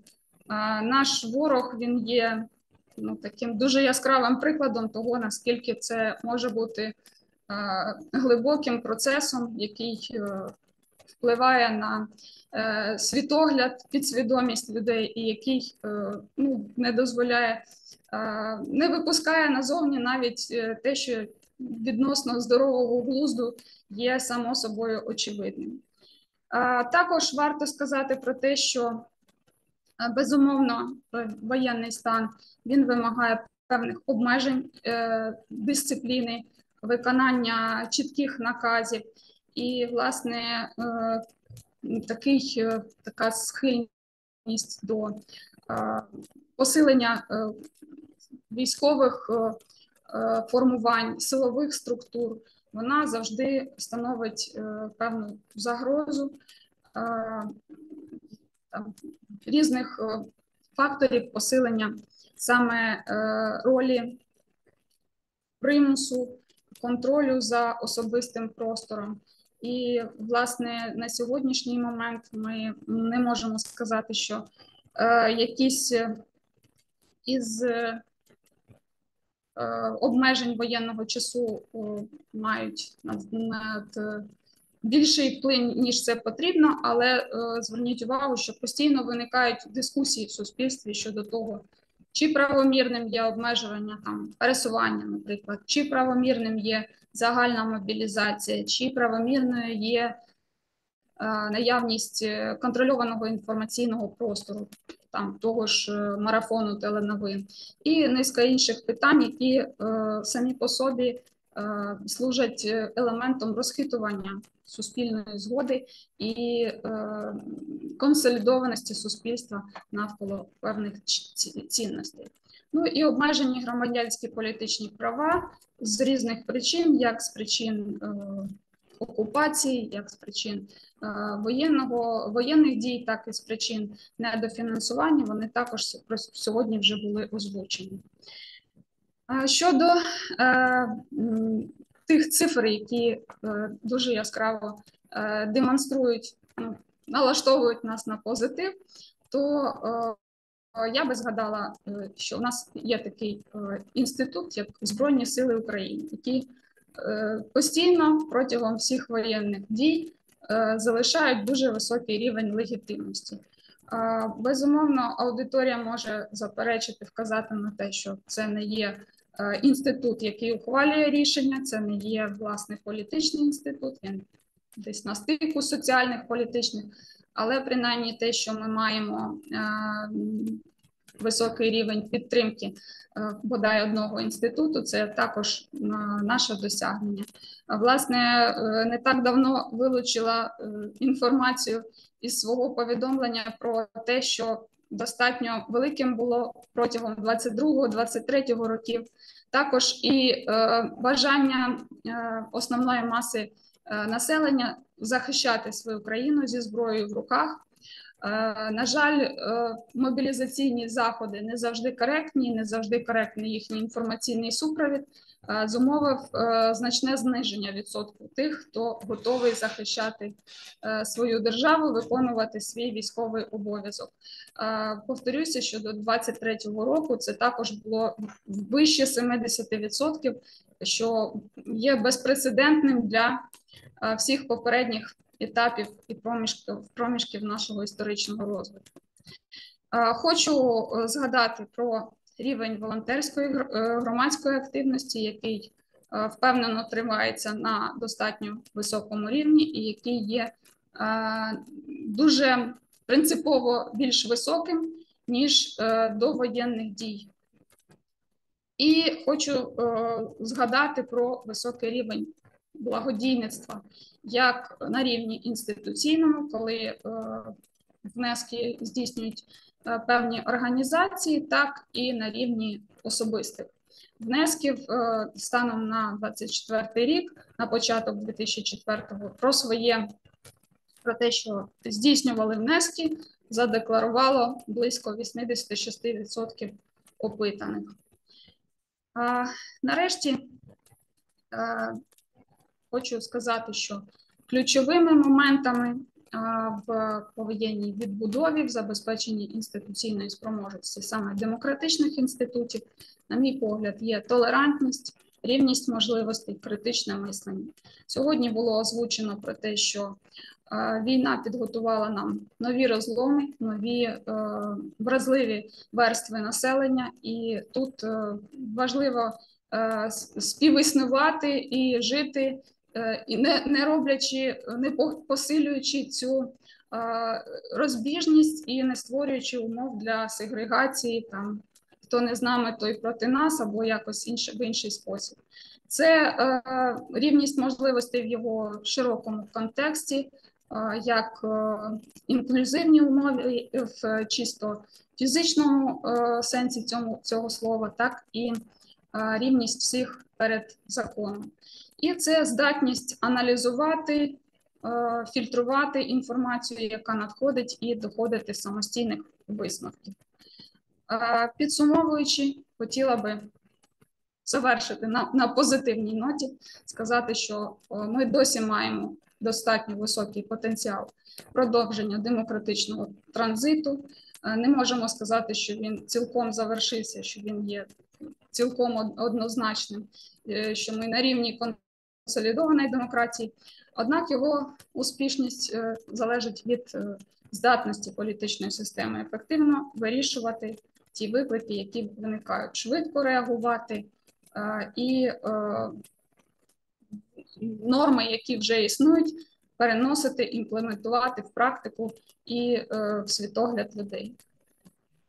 В основі збереження демократії, на мій погляд, лежить громадянська освіта та формування високого рівня політико-правової свідомості. У мене все. Щиро дякую вам за увагу. Слава Україні! Героям слава. Дякуємо вам, Віра Анатолівна, шановна, за такий глибокий політологічний аналіз е, процесів повоєнного відродження України, Е, тому що е, дійсно без врахування е, політологічних аспектів е, цих процесів вони не можуть бути е, такими ефективними, як це як цього вимагає наше життя і наше майбутнє. Дякую вам, шановні колеги. Продовжуючи наше спілкування, хочу зазначити, що роль судової влади у питаннях е, повоєнного відродження України неможливо переоцінити. Е, е, Суди різних юрисдикцій є тими інституціями, які на певних етапах будуть вирішувати принципові питання такого відродження. Ну, Це е, і е, спірні питання пов'язані із е, безпосередньо процесами відродження. Це питання, які, про які сьогодні вів мову у своїй доповіді Микола Іванович Сірий щодо юридичної, щодо притягнення до юридичної відповідальності за шкоду у сфері економіки, е, яка заподіяна агресією, і е, роль суду, судових органів у різних е, аспектах, у різних конфігураціях, починаючи від міжнародних трибуналів і завершуючи третейськими судами щодо тих вирішення тих чи інших конкретних господарських спорів, е, ці питання є надзвичайно актуальними. І я щиро вдячний нашому колезі е, Олегу Степановичу Ткачуку. Е, Це доктор юридичних наук, доцент, вчений секретар науково-консультативної ради Верховного суду. Він є суддею Великої Палати Верховного суду. От, і він знайшов час у своєму інтенсивному графіку е, для того, щоб виступити на нашому форумі із доповіддю е, на тему роль судової влади у відновленні економіки України у післявоєнний період. Будь ласка, Олег Степанович, вам слово надаю. Я бачив, що ви під'єдналися. Зараз подивимося. Так.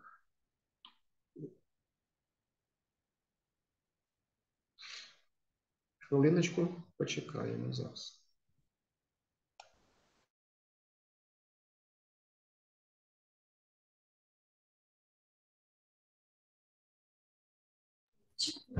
Серед учасників він є в списку учасників. Олег Ткачук присутній, можливо, щось зі зв'язком.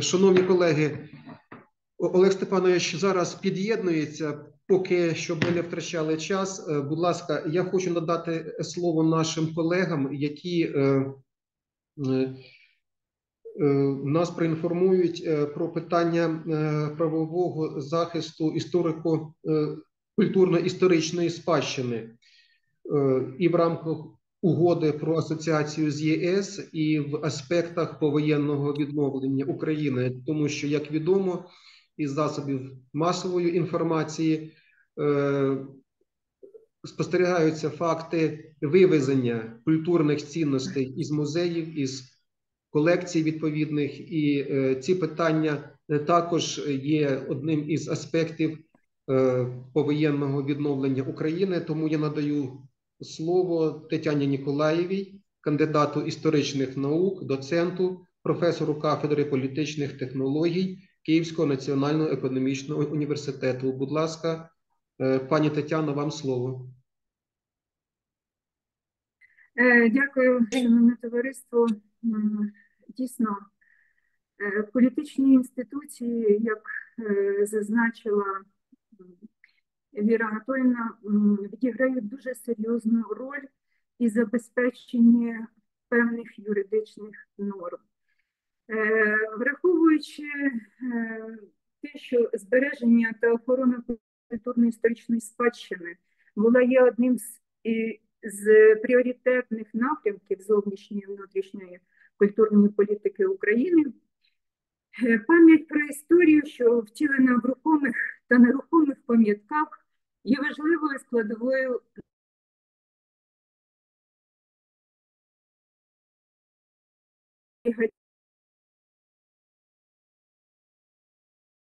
про минуле, про своє коріння, про свою етнічність.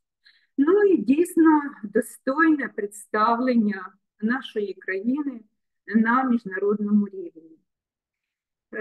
Тому е, охорона культурної спадщини є зобов'язанням нашої держави як перед народом України, так і перед світовою спільнотою. Е, Знищуючи українські міста та села,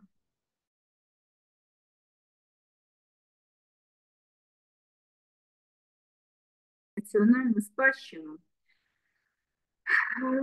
Російська Федерація остаточно засвідчує ознаки культурного геноциду в цій війні, е, мета якої стерти український народ і його корення.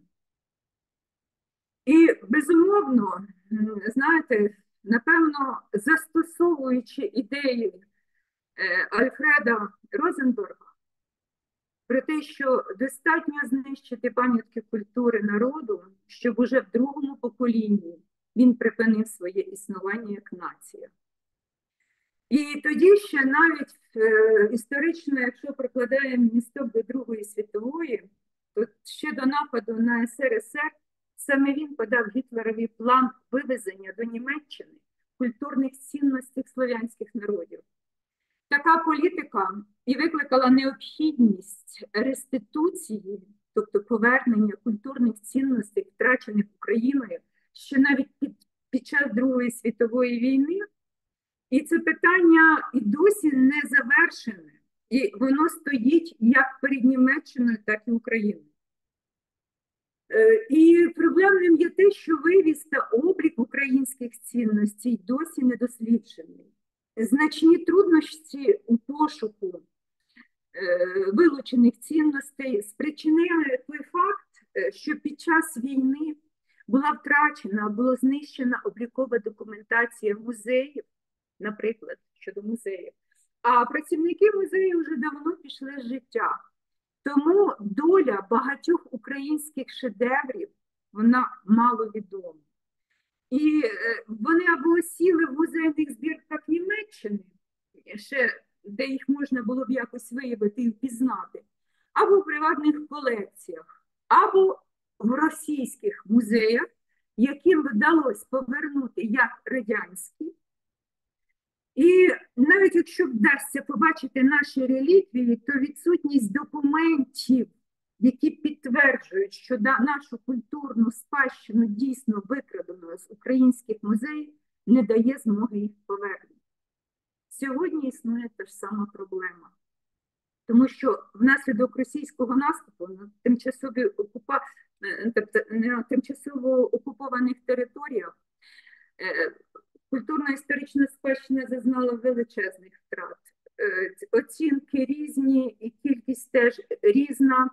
І як заявила директорка з питань культури з надзвичайних ситуацій ЮНЕСКО Кріста Пікат, культурна спадщина дуже часто зазнає супутньої шкоди під час воєн, але іноді на неї націлюються спеціально, адже вона є сутністю ідентичності країни. І дійсно е, сьогодні з усіх е, інформаційних майданчиків лунає, що е, необхідно е, запроваджувати репресії та е, жорстока цензура. Е, е, В першу чергу, щоб е,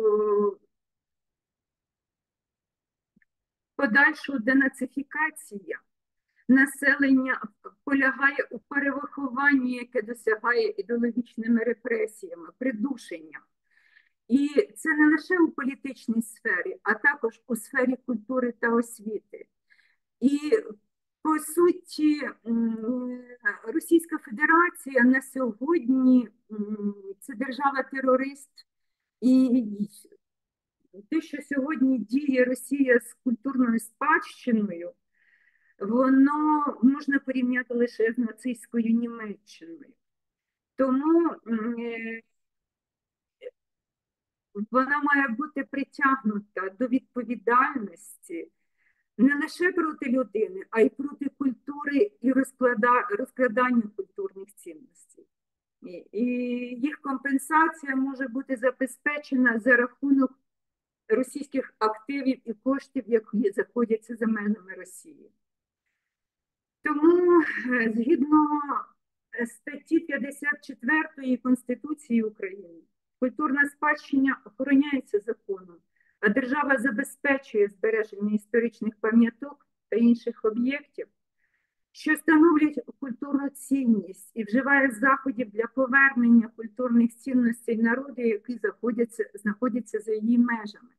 Саме е, цей закон е, е, ця стаття Конституції, а також закони, що культурна спадщина регулюється ще законами про культуру, про охорону культурної спадщини та низкою міжнародних конвенцій про охорону спадщини, які Україна ратифікувала.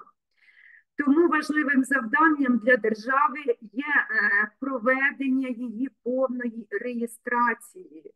І навіть сьогодні в умовах воєнного стану е, існує величезна потреба подальшій удосконаленні державної політики і законодавства задля збереження і повернення культурної історичної спадщини і взаємодія з всіма міжнародними громадськими організаціями, Е, е, співпраця та інформування світової громадськості про злочини російської армії проти української культури.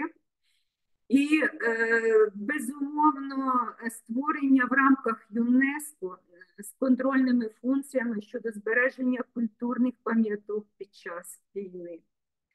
Е, Звісно, це питання дуже складне і воно потребує серйозної взаємодії всіх і державних органів, і міжнародних, і розраховуючи те, що Україна стає складовою частиною європейської спільноти, ми дуже сподіваємося на підтримку і взаєморозуміння.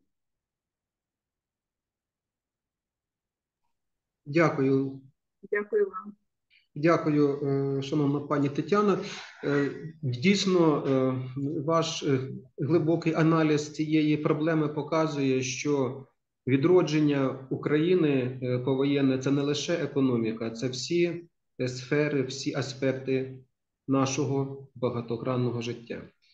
От, шановні колеги, е, до нас вже доєднався наш колега. Я ще раз хочу акцентувати увагу на тому, що роль судової влади у е, відродженні України у повоєнний період є е, непересічною, є надзвичайно важливою, оскільки питання і е, відшкодування економічних, е, економічної шкоди на міжнародному рівні, і питання поточної господарської діяльності у процесі відновлення, і питання е, пов'язані із вирішенням тих чи інших видів спорів у всіх юрисдикціях.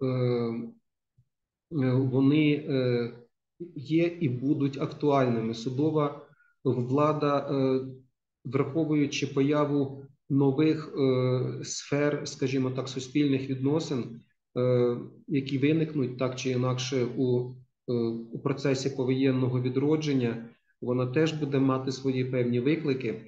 От і я е, хочу е, щиро подякувати Олегу Степановичу Ткачуку, доктору юридичних наук, е, вченому секретарю науково-консультативної ради при Верховному суді і судді Великої Палати Верховного суду, який знайшов час і е, погодився виступити на нашому форумі із е, темою е, роль судової влади у відновленні економіки України у післявоєнний період. Будь ласка, вам слово, Олег Степанович. Дякую, Андрій Володимировичу. Е, Доброго дня, шановні колеги. Е, Щиро дякую, Андрій Володимировичу, за запрошення взяти участь у конференції.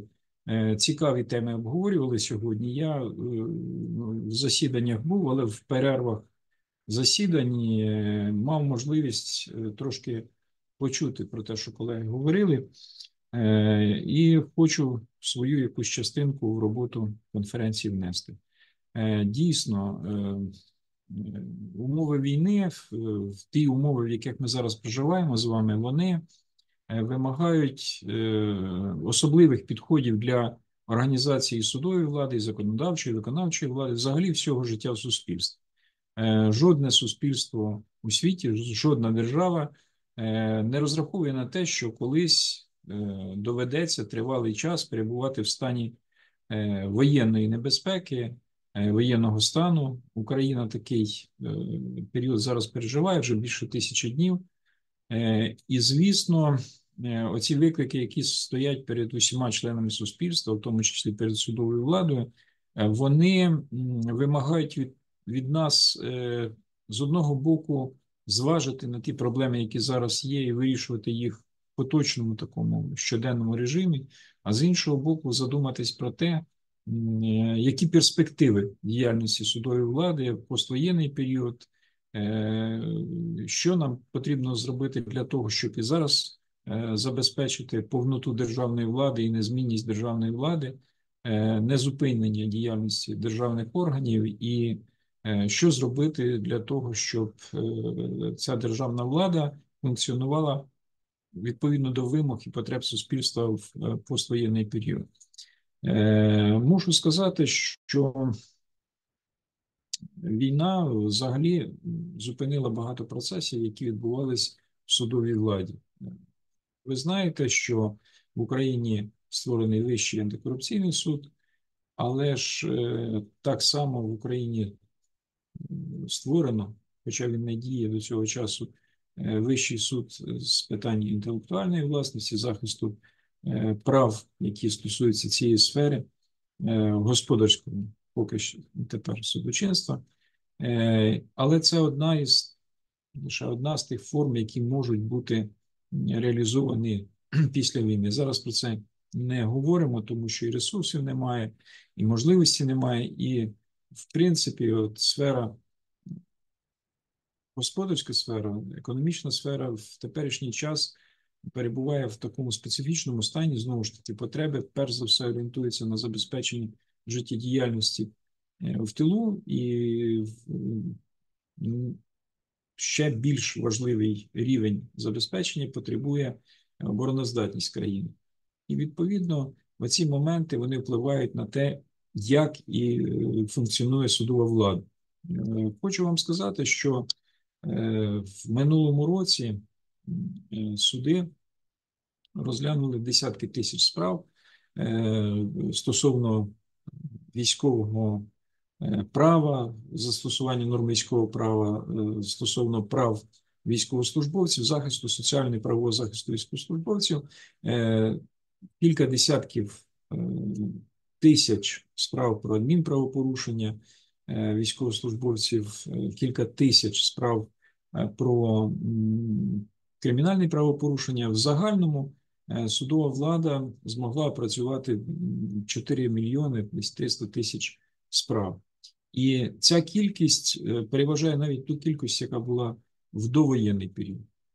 Але ж е, разом з тим ми бачимо динаміку е, тих справ, які нові з'являються. З'являється багато справ пов'язаних, вже Андрій Володимирович про це сказав, про відшкодування шкоди заподіяної війною і економіці України, і з іншого боку, і громадянам України. І е, я думаю, що і міжнародні е, наші партнери також відчувають е, сильний негативний вплив війни на економіку їхніх країн.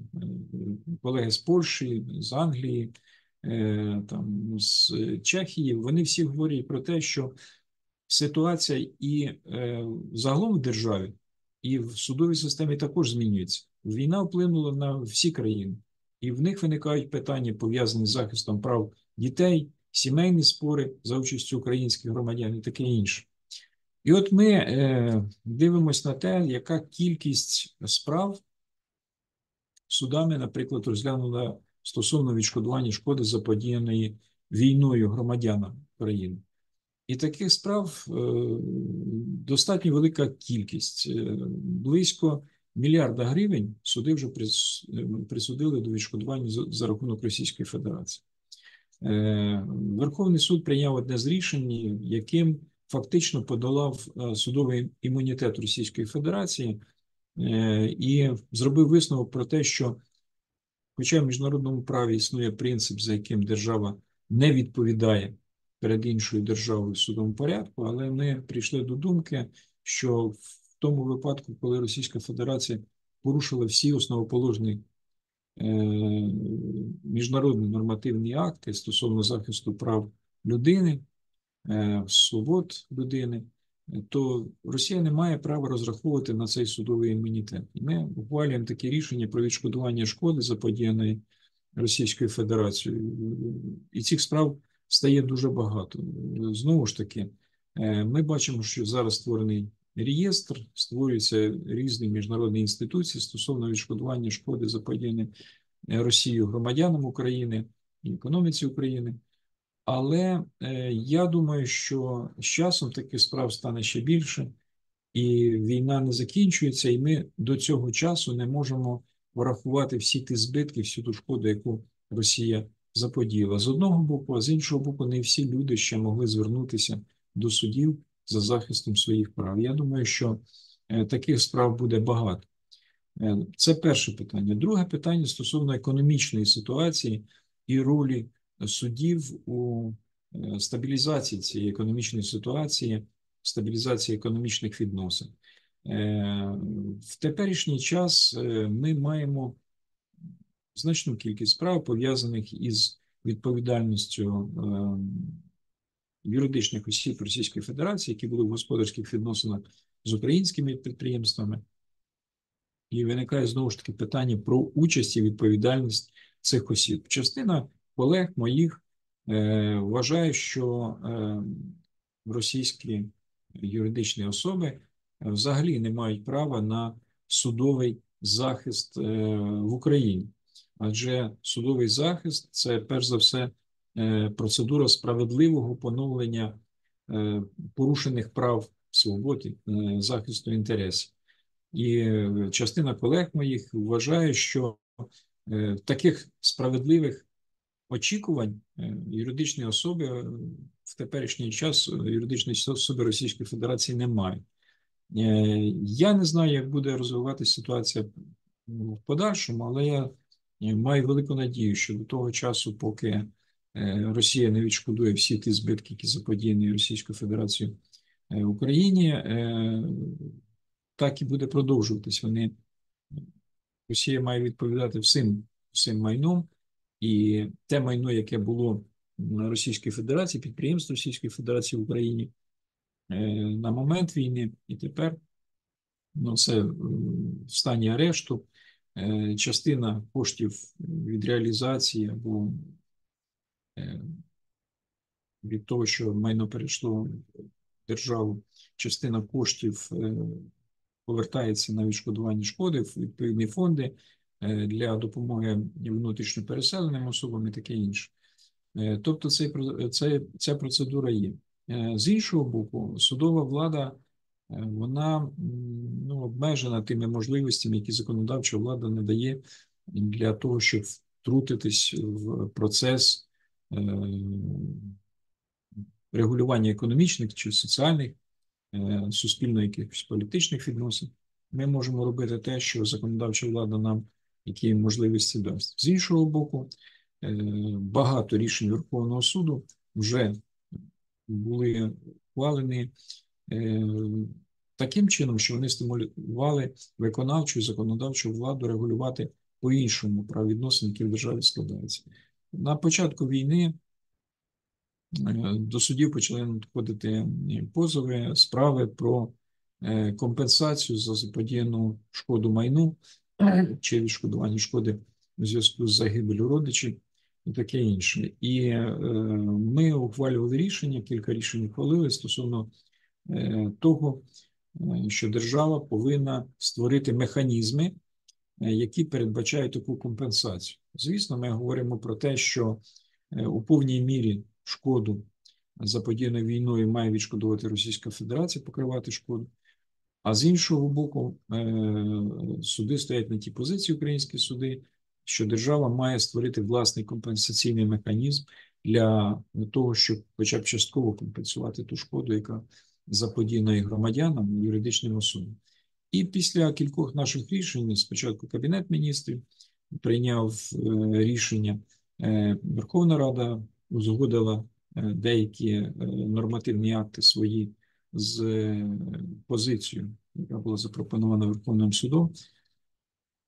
І, і зараз вже існує і процедура відшкодування шкоди за е, майнове, але це не повне відшкодування, це лише компенсація, маленька компенсація за ту шкоду, яку війна е, принесла в Україну. Ми також е, якимось чином впливали на процес. Ми були, скажімо так, ініціаторами або голосом від імені суспільства, який говорив про те, що в Україні має держава піклуватися і про внутрішньо переміщених осіб, і сприяти тому, щоб особи, які постраждали в результаті війни, якомога е, більше захищалися державою, хоча б в межах можливостей, звісно, держави, але все-таки, щоб держава брала участь і в допомозі тим, хто постраждав від війни. І е, знову ж таки, нормативні акти з цього питання і урядом, і парламентом були прийняті. Е, Я думаю, що коли економіка почне розвиватися, я сподіваюся, що скоро настане мир, і економіка почне повертатися до мирного русла. Е, Завданням судів буде ефективне швидке регулювання тих правовідносин, які будуть в економіці складатися. Е, Хоча е, з іншого боку, ми сподіваємося і на те, що в Україну буде в Україні буде налагоджений гарний інвестиційний клімат для того, щоб прийшли в Україну е, іноземні компанії, які допоможуть нам відбудувати державу. Е, З цього приводу ми вже проводимо різні консультації. Е, Судова влада мається на увазі консультації і вивчаємо питання, як інвестиційна діяльність зарубіжних компаній іноземних країн е, регулюється або е, регламентується нормативними актами європейських країн, по-перше, а по-друге, яким чином судова влада е, узгоджує свою діяльність е, із е, нормами, які діють в Європейському Союзі. Ми говоримо з вами про те, що ми наближаємося до вступу в Європейський Союз, до повноцінного членства в Європейському Союзі, але на шляху цього повноцінного членства, звісно, стоять е, проблеми пов'язані з неузгодженістю законодавства українського європейського. Е, І от зараз ми почали вивчати це питання. Бачимо, що навіть всередині Європейського Союзу, е, хоча вони мають е, загальнодержавні програми, ну, державні мається на увазі Унії Європейської, загальнодержавні програми і національні програми, але ж все-таки не всі країни погоджуються з загальноєвропейським підходом. І це стосується і біженців, це стосується податків на додану вартість інших, інших питань е, оподаткування підприємств, які не знаходяться на території тієї чи іншої держави. І для цього створений механізм е, суду справедливості, який в Люксембурзі слухає справи внутрішні європейські е, справи. Е, І знову ж таки, е, коли почали питання це вивчати, звернули увагу на те, що інколи рішення е, Європейського суду з прав людини і рішення суду в Люксембурзі, так званого суду справедливості або суду Європейського Союзу, вони по-різному трактують е, нормативні акти, які діють на території всього Європейського Союзу. І от судова влада е, зараз е, це питання вивчає українська, українські суди вивчають це питання, Верховний суд, в тому числі, яким чином ми зможемо свою практику, своє законодавство е, узгодити, е, гармонізувати з законодавством Європейського Союзу. Я думаю, що оце, мабуть, е, один із е, ключових моментів е, вступ до Європейського Союзу, до Європейської Унії, відновлення економіки України це два такі м, взаємопов'язані процеси, які вимагають від судової влади орієнтуватися, по-перше, на ту практику, яка е, діє в світі стосовно репарацій за шкоду заподіяною війною, е, стосовно відшкодування шкоди заподіяної громадянам війною, Е, І з іншого боку, яким чином наближити судову практику, судову діяльність е, до практики е, країн Європейського Союзу для того, щоб вона була максимально узгоджена. Адже коли ми в Європейський Союз е, вступимо, то нам е, потрібно розуміти, що над нами буде з одного боку той же е, Європейський суд з прав людини, з іншого боку, е, наші рішення е, можуть ставитись під сумнів у е, суді Європейського Союзу в Люксембурзі. І е, щоб не чекати того, що буде потім, коли, коли це вже станеться, все ми почали ці нормативні акти і процедури вивчати, і зараз над цим працюємо. Я думаю, що саме таким шляхом і буде розвиватися судова система е, в поствоєнний період, шляхом наближення до європейських інституцій, е, до е, процедур європейських. Я думаю, що вже завершуючи свій виступ, я думаю, що наші судові процедури, наші там відбори кандидатів на посаду судді, е, дисциплінарна відповідальність суддів, е, е, судовий розгляд цивільних, господарських, кримінальних, адміністративних справ, він відбувається на, на самому вищому такому, ну, регламентований мається на увазі, на самому якісному рівні. Є норми, які трошки не дозволяють, е, не дозволяють, мабуть, говорити про високу якість законодавства, але в переважній більшості ці норми є такого високого е, інтелектуального, наукового і е, законодавчо-технічного рівня. Але ж вони мають ще узгодитися з тією законодавчою системою, яка існує, з тими традиціями, яка існує в європейських країнах. Частина там має велике значення в частині країни досудового регулювання спору. У нас є проблеми з медіацією. Частина про арбітражне регулювання. В нас є питання до цього. Е, Частина е, проблем стосується виконання рішень. У нас це надзвичайно велика проблема. Тому я думаю, в цьому на цьому шляху ми маємо йти, дивлячись, як це робиться е, в країнах, які не переживають війну, в країнах, які е, все-таки домоглися того, щоб і рішення виконувалися, і е, свідки в суді говорили правду. Треба цим шляхом йти. Дякую за увагу. Щиро дякуємо, Олексій Панович, е, за ваш глибокий системний аналіз е, ролі судової влади у процесах повоєнного відродження України. Е, Шановні колеги, на цьому Підходить до завершення робота нашої панелі, яка називається Юридичний ландшафт повоєнного відновлення України. Я щиро дякую всім вам і кожному з вас окремо за те, що ви знайшли можливість, час взяти участь у нашому зібранні, підготувати цікаві глибокі доповіді. Е, Безумовно, вони будуть всі узагальнені і знайдуть своє відображення у рекомендаціях та зверненні від імені оргкомітету форуму до відповідних е, міжнародних та українських е, владних суб'єктів. От, е, хочу побажати вам всім міцного здоров'я,